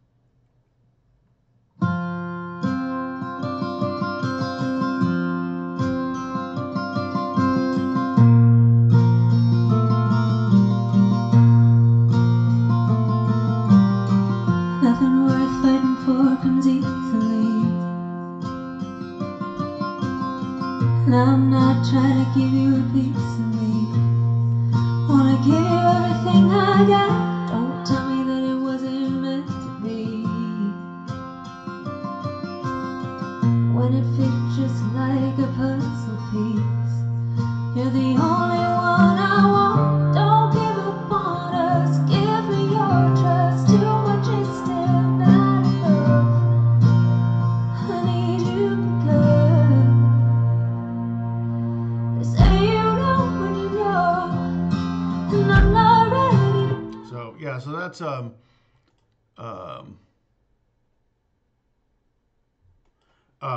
so that's new an artist that I'm I'm I work with all the time. We've written a lot of songs together. We've got this got a song in a couple movies and things like that.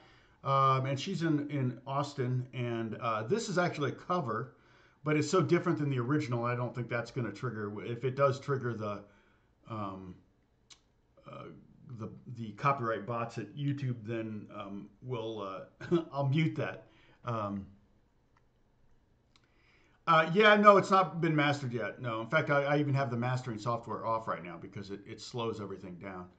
Um, but yeah, no, the vocals. I, but I but the vocals, I've got everything on it that I use, um, and I yeah, it's got the verb. Uh, I'm using Valhalla delay and Valhalla plate reverb, so I'm using two reverbs or uh, one delay and one reverb by Valhalla, which I really like. Normally I use the, the, the stereo delay from Logic, but I was trying this Valhalla one and I'm like, oh shoot, I love this. Um, and it's got a nice, you know, kind of delay to it, um, kind of a, uh, kind of a phasey delay or something. It's just like really nice. So um, thanks, Peroni. The yeah, so the artist is Kelly Jakle, um, and you can check out some of her music, some of our music together. Um, and she um, she's an actress too, so she's doing like Lifetime movies and things like that. And then um, she's uh, um, uh, yeah, we've got we've got a, a big record, you know, like a long, you know, like a 35 minute record coming out. She's going to do a, a long form video for it for the entire record, and so she's raising funds for that right now, so that she can do it. It's going to be like a 35 minute video, um, and she's scripting it and everything. So it's going to be pretty cool when she's all done with it. Um, but yeah, so that when that comes out, who knows what'll happen with that? We're you know I'm kind of excited for that to come out because uh, it's it's very different than everything we've ever done before. So yeah, Valhalla Reverb is definitely cool. For fifty dollars, I've got every one of their plugins. So I think that I think they have six things released that you can buy. Then they have some free stuff too. Um, Valhalla DSP. Uh, oh, and they're telling us that we're compatible. Okay. Uh, Valhalla Delay, Valhalla Vintage Verb, Valhalla Room, Valhalla Plate, Valhalla Shimmer, Uber Mod, and then they have Space Modulator, Frequency Echo are free, and so Supermassive is free. Wow, I didn't realize Supermassive was free. That's pretty crazy because Supermassive is uh, actually a pretty cool plugin. So yeah, I would definitely get all. But I yeah for 300 bucks get all those really nice reverbs. It's it's uh, I see them. I know that like some of the top mixers in pop music use them. So um, it's definitely um, amazing because you can spend a lot on some of these plugins. I mean, they can get up into the fifteen hundred dollar range. I, I have uh, all the. I usually always get Kontakt Complete, so I have all of their plugins, and they're channel plugins, the clean stuff, you know, the like the reverbs and delays and stuff. I don't really use them very often. Sometimes I do. I've also got the entire uh, uh, Soundtoys library. I bought all of that, so I have all of those plugins, and those are great for guitars. I, I don't use those on voices so much, uh, or even on acoustic guitars. I mostly use those as plugins for electric. Uh, the delay, uh, the, the Echo Boy is kind of cool. Um, this, actually, the plate reverb is kind of cool. I've used it on a couple things. So I'm just still learning it. Yeah, frequency shifter. Yeah, I've used that on something. It's weird, uh, but that's weird is sometimes exactly what the doctor ordered. So definitely, if you're looking for a, um, a place to go get, you know, some free stuff uh, for your for your DAW, uh, DAW, you can go there and check that out. Um, I should post this on my Facebook page too. Um, where's that? What am I? Oh, it's on. That's why I'm on Chrome. So, um, yeah. All right. Sorry I was late today. I just was organizing and doing different things, and I was working on this track for Kelly getting her a copy. I haven't heard back from her, have I? Somebody's texted me. Oh. Does anybody know if, and this is not for me, this is for someone else. I just got asked a question. Does does a, Fidelity account allow you to trade in um, uh, option, uh, uh, not options. Um, I know I can do options. Um, I've done options before, but not on Fidelity. I don't have Fidelity, but um, uh, commodities. Someone wanted to trade commodities, could you do it in Fidelity? I say I'm not a huge fan of commodities. Um, I just, I always feel like, yes.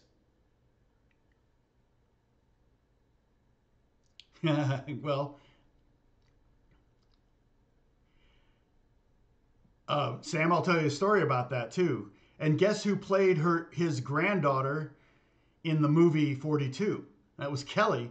And they, she got the gig, and they didn't know she was actually his great great granddaughter. So, um, or great, yeah. So yeah, she was playing his granddaughter in the movie, and they didn't know that she was really his great granddaughter, great granddaughter. I was in Denver with her uh, before COVID.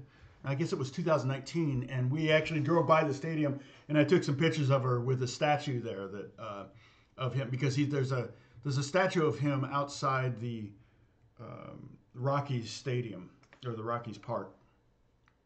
So.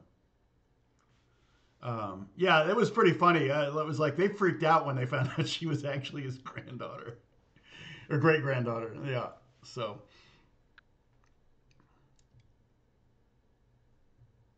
Oh, interesting. Okay. Thanks, Peroni. Um. Oh, you were reaching for you. That's funny, Bruce. Yeah, Bruce is often like, "Hey Tom, are you up? Are you doing a live stream today?" And it's just like, yeah, I, I, it's like I could text you, Bruce, that I'm going to be late, that I'm running late or whatever, but then that makes me even later. So I feel like it's always better just to go ahead and and and get on sooner as soon as I can. I think I was on at 9:13 or something like that. So normally I'm on, you know, within the first five minutes after the hour. Um, I think last week I was actually right on the hour or something. I, I need to do that. I need to figure out how to do that countdown thing. Studio mode settings. X. Let's see. Pain. Um, I could create. So I could create a window that would be a like a countdown window or something, or not a countdown necessarily, but just like I'll be right back kind of window uh, or stay tuned or whatever so that that pops up and people can kind of log in. And that's not a bad idea because the reason you do that is to make sure there's kind of a quorum before you start because oftentimes i'll start right off the bat and i won't start teaching right away on the subject matter but i will be talking and things and people are like what did i miss and so that's that's kind of a way to do that i should i should do that but Oh, interesting. I'm raining on you. Okay, well, you know, Paul, we need to talk then.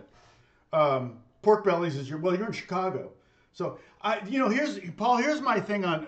I, I have very very little experience with commodities. The only thing I ever did was I, I actually invested in a company called Petro Lewis, which was an oil um, exploration company. And when I was 20 years old, I put like $2,500 in. It which was a lot of money when you're 20 years old and I lost most of it. I got 800 out of my investment uh, when I finally sold it, um, and because oil prices tanked.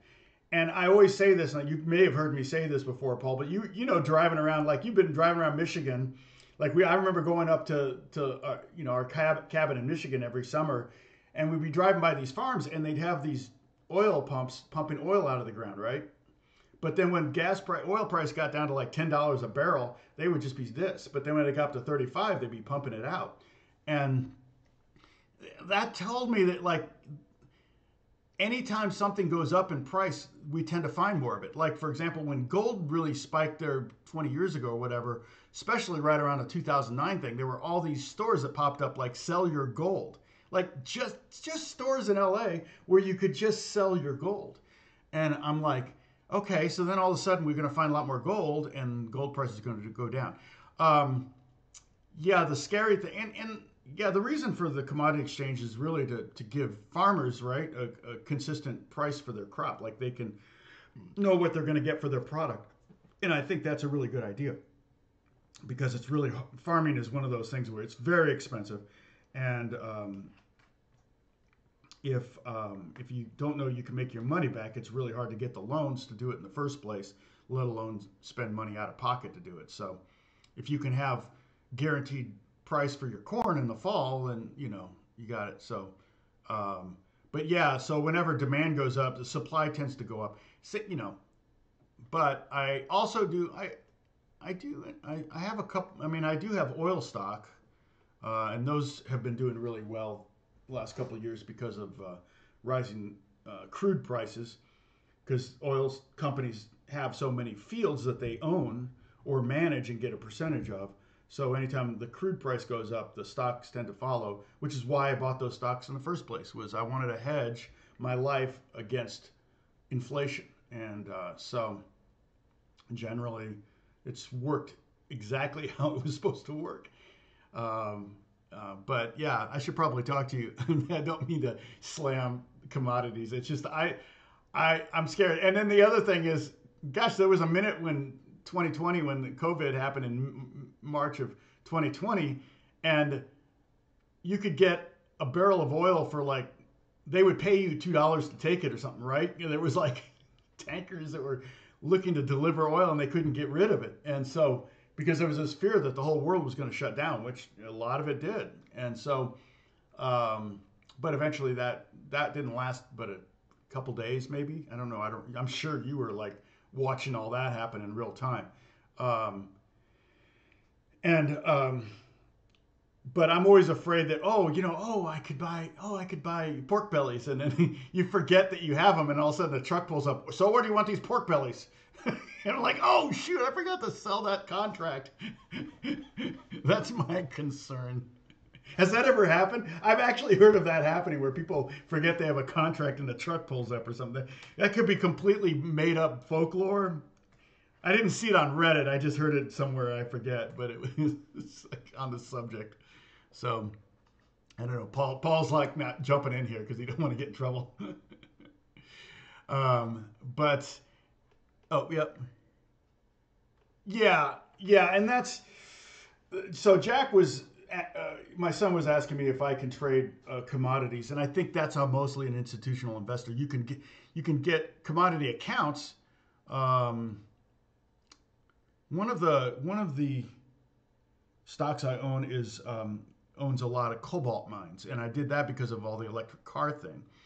So I feel like okay, well, and that stock's done quite well as well because cobalt prices have gone up, um, and it but it's it's not a trader. It's a it's a miner. So it's a miner of cobalt. Um, yeah. So and I'm not sure even where they mine it. To be honest, I just bought the stock. So yeah. So that's that's the latest. I, I'm sure everybody's walk going away now because they're like, I didn't come here for commodities advice. oh, and thank you. Uh, shoot, I forgot who gave me the coin, but thanks so much. The Canadian uh, in Canada. Where was that? way up here. Was it Matthew? I think it was Matthew. Yeah, it was Matthew. Uh, trying to. Oh, there it is. Okay.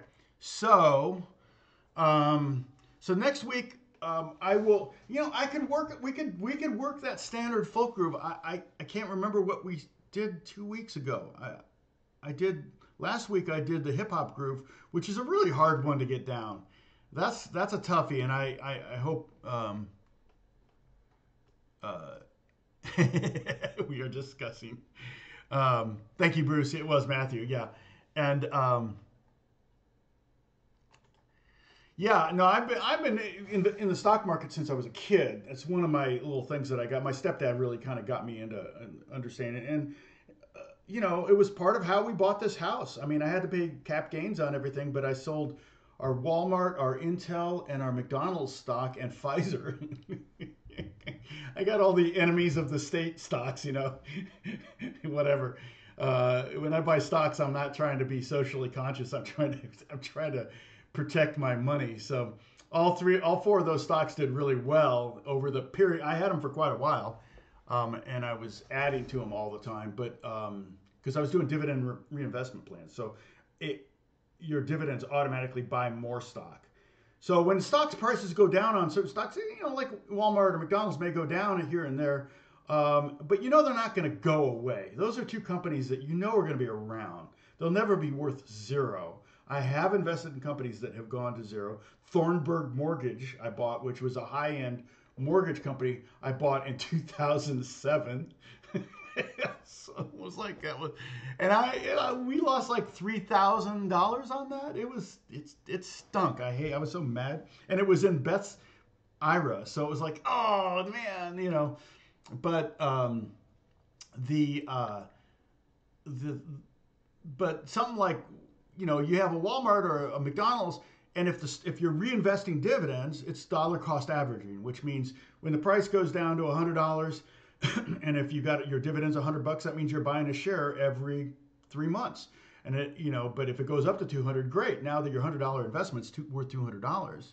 Um, but now you're only getting a half a share if you're getting $100. So you're not getting as many shares. So when the price goes down and if you're reinvesting, it's a bummer, but at least you're getting a better deal for now. And then when the price goes back up, now what, whatever you paid for those. So that's called dollar cost averaging, and that's not a bad thing. Um, oh, was that what I did too? I don't I don't remember because because I wrote ask me I think it was an AMA right isn't that what I called it See, I didn't actually give it a name, did I? Or well, let me look. Bruce is going to beat me to it. Oh, to yeah. Okay, no, Bruce did beat me to it. Thanks, Bruce. Yeah, so I got to it eventually. Maybe I need to change the name because I think I did get to a lesson in there somewhere. But um, yeah, it's the strumming things. Strumming group, strumming things are really popular.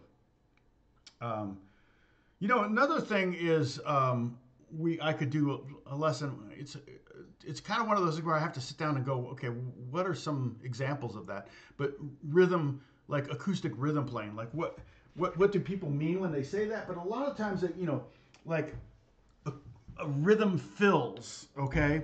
So like a fill, a lick, of, yeah, ah, I'm changing picks, so right, that's a lick. But a fill would be more.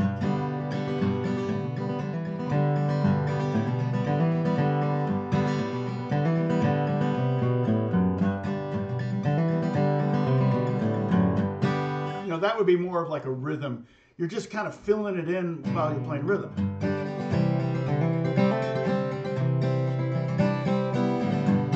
Um, or it could also be embellishment.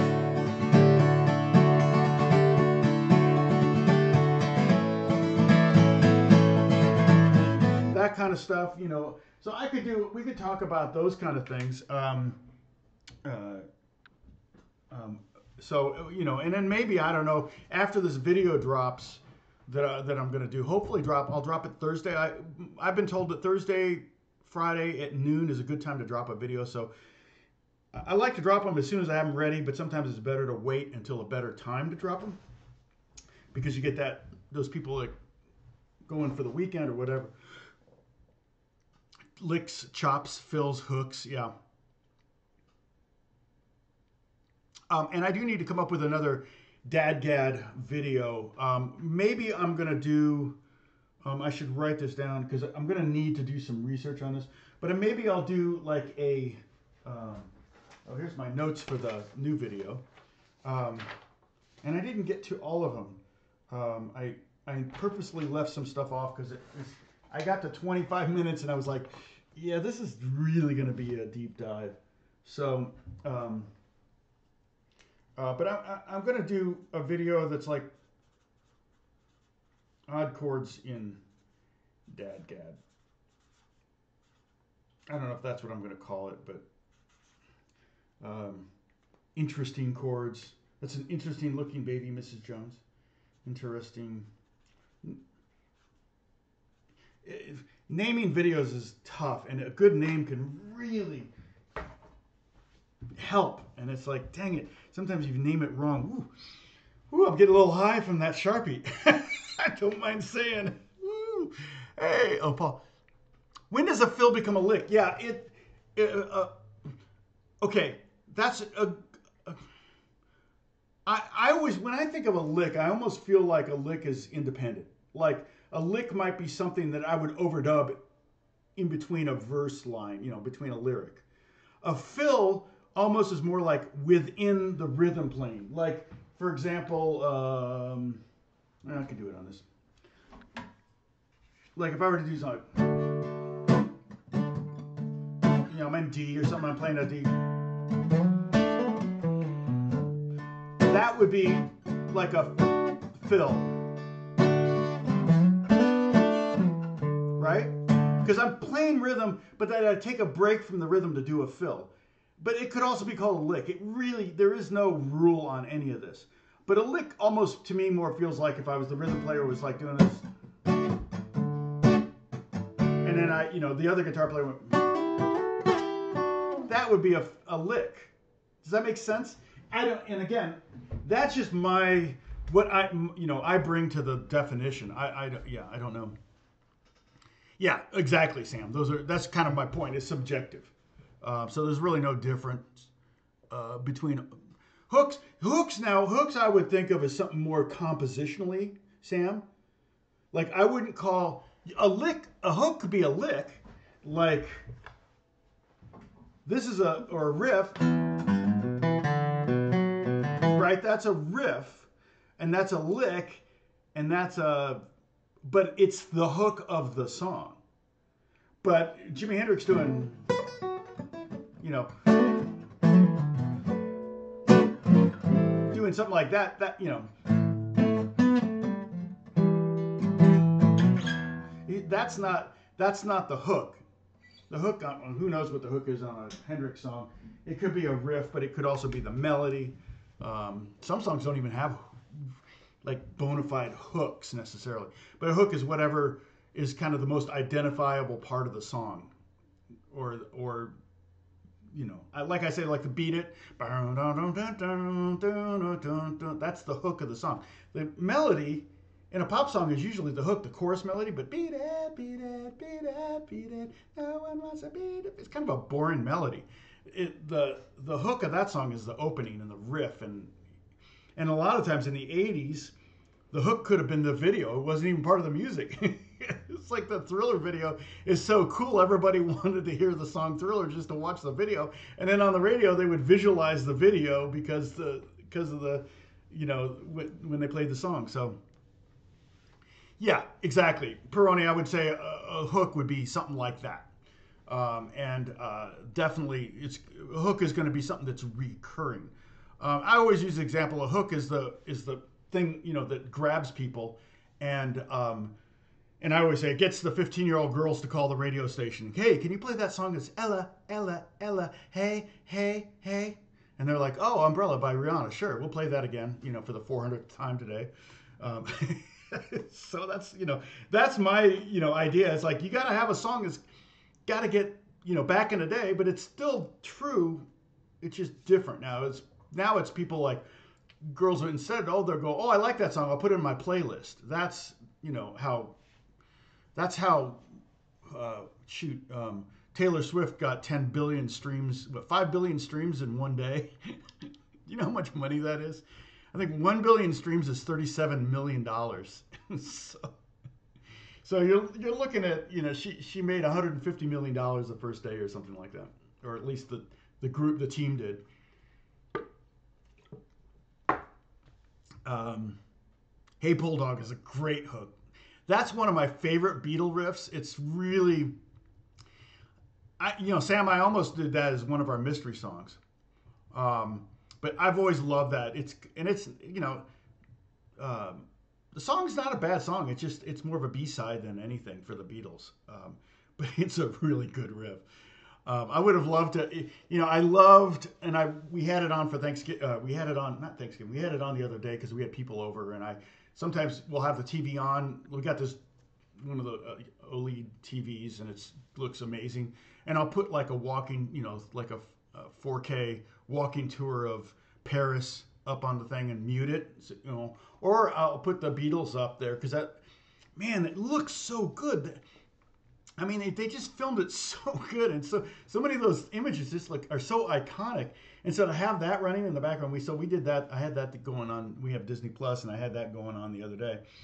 Um, but um, I wish there was. Hey Bulldog is on Yellow Submarine. Is that right? Um, and I wish that that was uh, they had video of them kind of coming up with that. I mean, it's it was that uh, get back just was so fascinating watching the process. You know, almost feeling like you're sitting in the room with them. It was that well edited. I mean, they did, did a great job filming it, but man, um, uh, what's his name? Did a great job. Um, uh, Lord of the Rings guy. Uh, ah, dang it, my brain. Yes, Joseph, exactly. Good, good licks off of the D chord. Um, you know, let me let me uh, think about that because um, rhythm, rhythm, rhythm riffing is maybe what I would call that. Rhythm riffing. I may do a video on that, and that way I can come up with some tablature and things like that. It maybe justifies I may do it. We, can talk about it here too, but I may get a little bit more formal with it and come up with a, a video on it. Um, slides, yeah, slides would do that. Oh, oh, the Octopus Garden riff is actually a very fun riff. But okay, but so on that, see, that's Octopus Garden. Is that also? Is that Sergeant Pepper's? No, that's Abbey Road, right? Um,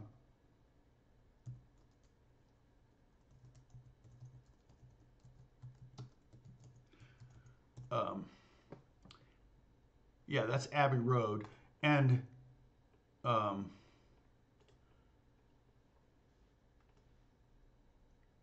let's see, track listing. Okay, now Maxwell Silver Hammer, the hook on that one would be bang, bang, hook, done. Bang, bang, Maxwell Silver. Peter Jackson, thank you, Charlie. Charlie's like, come on, Tom, you can think of it. Oh, don't make me log, don't make me come out of lurking mode. Sorry, Charlie. Oh, there's a, a tuna tuna ad reference there. How many times have you heard that? Yeah. Yeah, hooks, riffs, and fills. Yeah, I, I, could. Yeah, actually, that's not a bad idea too. Thank you. I I do, I do need to film more videos. It's just like I said, the back end on it is just not as. It's just I, I'm not seeing huge numbers on any of these, but but that's a hooks, riffs, and fills. What was the other one? Oh oh. Uh, Somebody said it earlier. There was Sam. You said it. Chops. Yeah, chops. I always think of chops as Charlie. Sorry. Um, uh, what was the name of the? Oh, uh, that was um, uh, shoot. Um, Billy Preston, great player. Uh, sad life though, uh, hooked on drugs. Um, he actually I, I mean, I, I've Pee Wee Michigo at my church played with him. Pee Wee Pee Wee toured with him. Um, but um, yeah, I would say that um, chops. When you say chops, usually that's in reference to somebody like he's got great chops, like he can really play. That's usually what I when I use the term chops. That's usually what I think of. Um, riffs and fills. Riffs so I, I think of riffs. So I hooks are a songwriting thing, compositional. Okay. Um, compositional. Riffs are usually freestanding. Almost like overdubs. Oops. And then fills are in between, is what I think. Ooh, I'm getting high from this Sharpie. In between rhythm parts. Okay? So, you know, kind of getting definitions right in my head, how I generally think of them. I wouldn't say those are hard and fast rule or definitions, but yeah, Holly's like, hi there, Charlie. Everybody say sorry, Charlie. Uh, yeah, Octopus's Garden is on Abbey Road, though, too, I think. Is it not?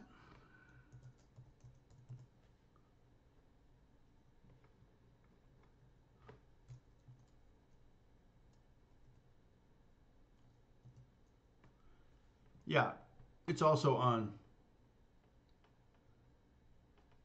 Uh, it's also on Oh, uh, John Lennon played the Moog synthesizer generated noise for the wind sounds at the end of "I Want You." She's so heavy. Yeah, it's it's such a it's, that's I, Abbey Road is probably my favorite record of the Beatles. Maybe my favorite record of all time. Um, I mean, that's just it's such a hard thing to say, you know, because like everybody goes, well, Desert Island discs. I'm like, you know what? I, I, you know, if you have your 10 favorite records and you, you have to listen to them for the next 100 years, you're going to get tired of them.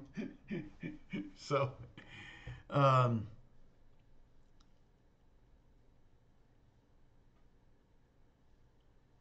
oh, interesting. Okay. I have never heard that, Sam. Yeah, that's interesting. Sorry, Bruce.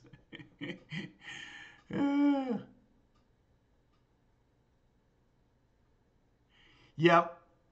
Chops up. Yeah. Uh, there's a term for that in musical terms. There's pizzicato, staccato. Um, and so classical circles, they would have different terms for that kind of stuff. But yeah.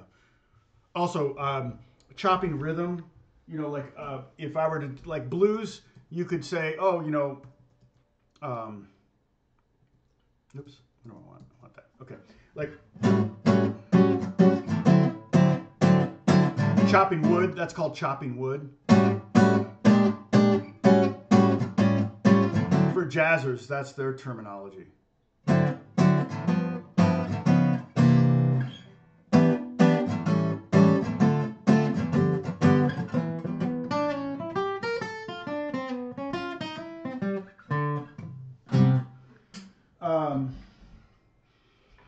Yeah, chopping wood is, is a jazz term for playing just like boom, boom, boom. And I've used that term before, I think, here. Um, but that's, and it basically stems from back in the day when you didn't even have electric guitars. You just had an archtop guitar with no pickup or anything. And you're with a 17 piece horn section, like chopping wood. It's like, I mean, have I ever chopped wood? I have chopped down a tree. I had to, my mom asked me to chop down a tree one time. It was probably about that big around, and, it, and the axe I was using was like a hand axe, and it was dull. so my, I was like in high school. My wrist afterwards, I could barely like pick up a pencil the next day. It was like, oh my god. I mean, I was like, and I was doing the chop from the top and chop from the bottom and chop from the top and trying to get it to fall a certain direction, and it totally didn't work. It it hit the fence. didn't know what I was doing. My mom wanted the tree out for some reason. I don't know why. I don't know because now I think about it, I didn't even chop. I chopped it like at waist height. I have no idea why I did that, but maybe my mom just wanted me to wear myself out. Maybe I was being too much of an aggravation. Maybe it was punishment. I didn't see it as that, but. Chop chords, yeah, yeah. Chop chords, that's very common. Yeah, all Beatle albums are good. Oh, someone.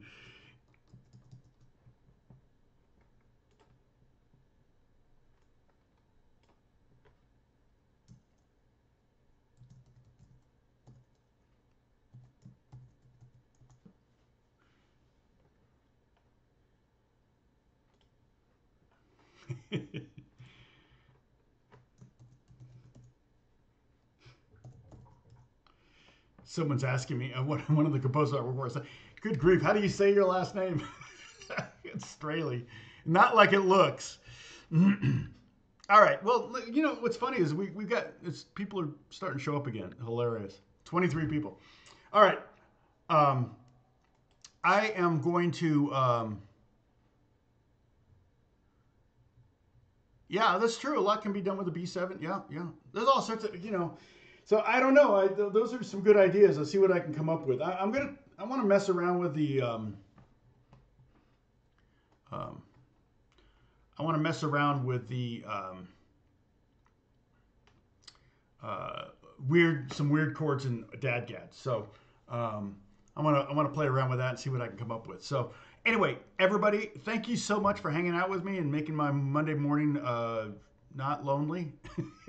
so, and thanks for checking out that Wemola. I may do a video for that too. So I have I have a few things I can do videos on. So we'll see what happens. Okay. Yes. Good night, all. Good night, John Boy.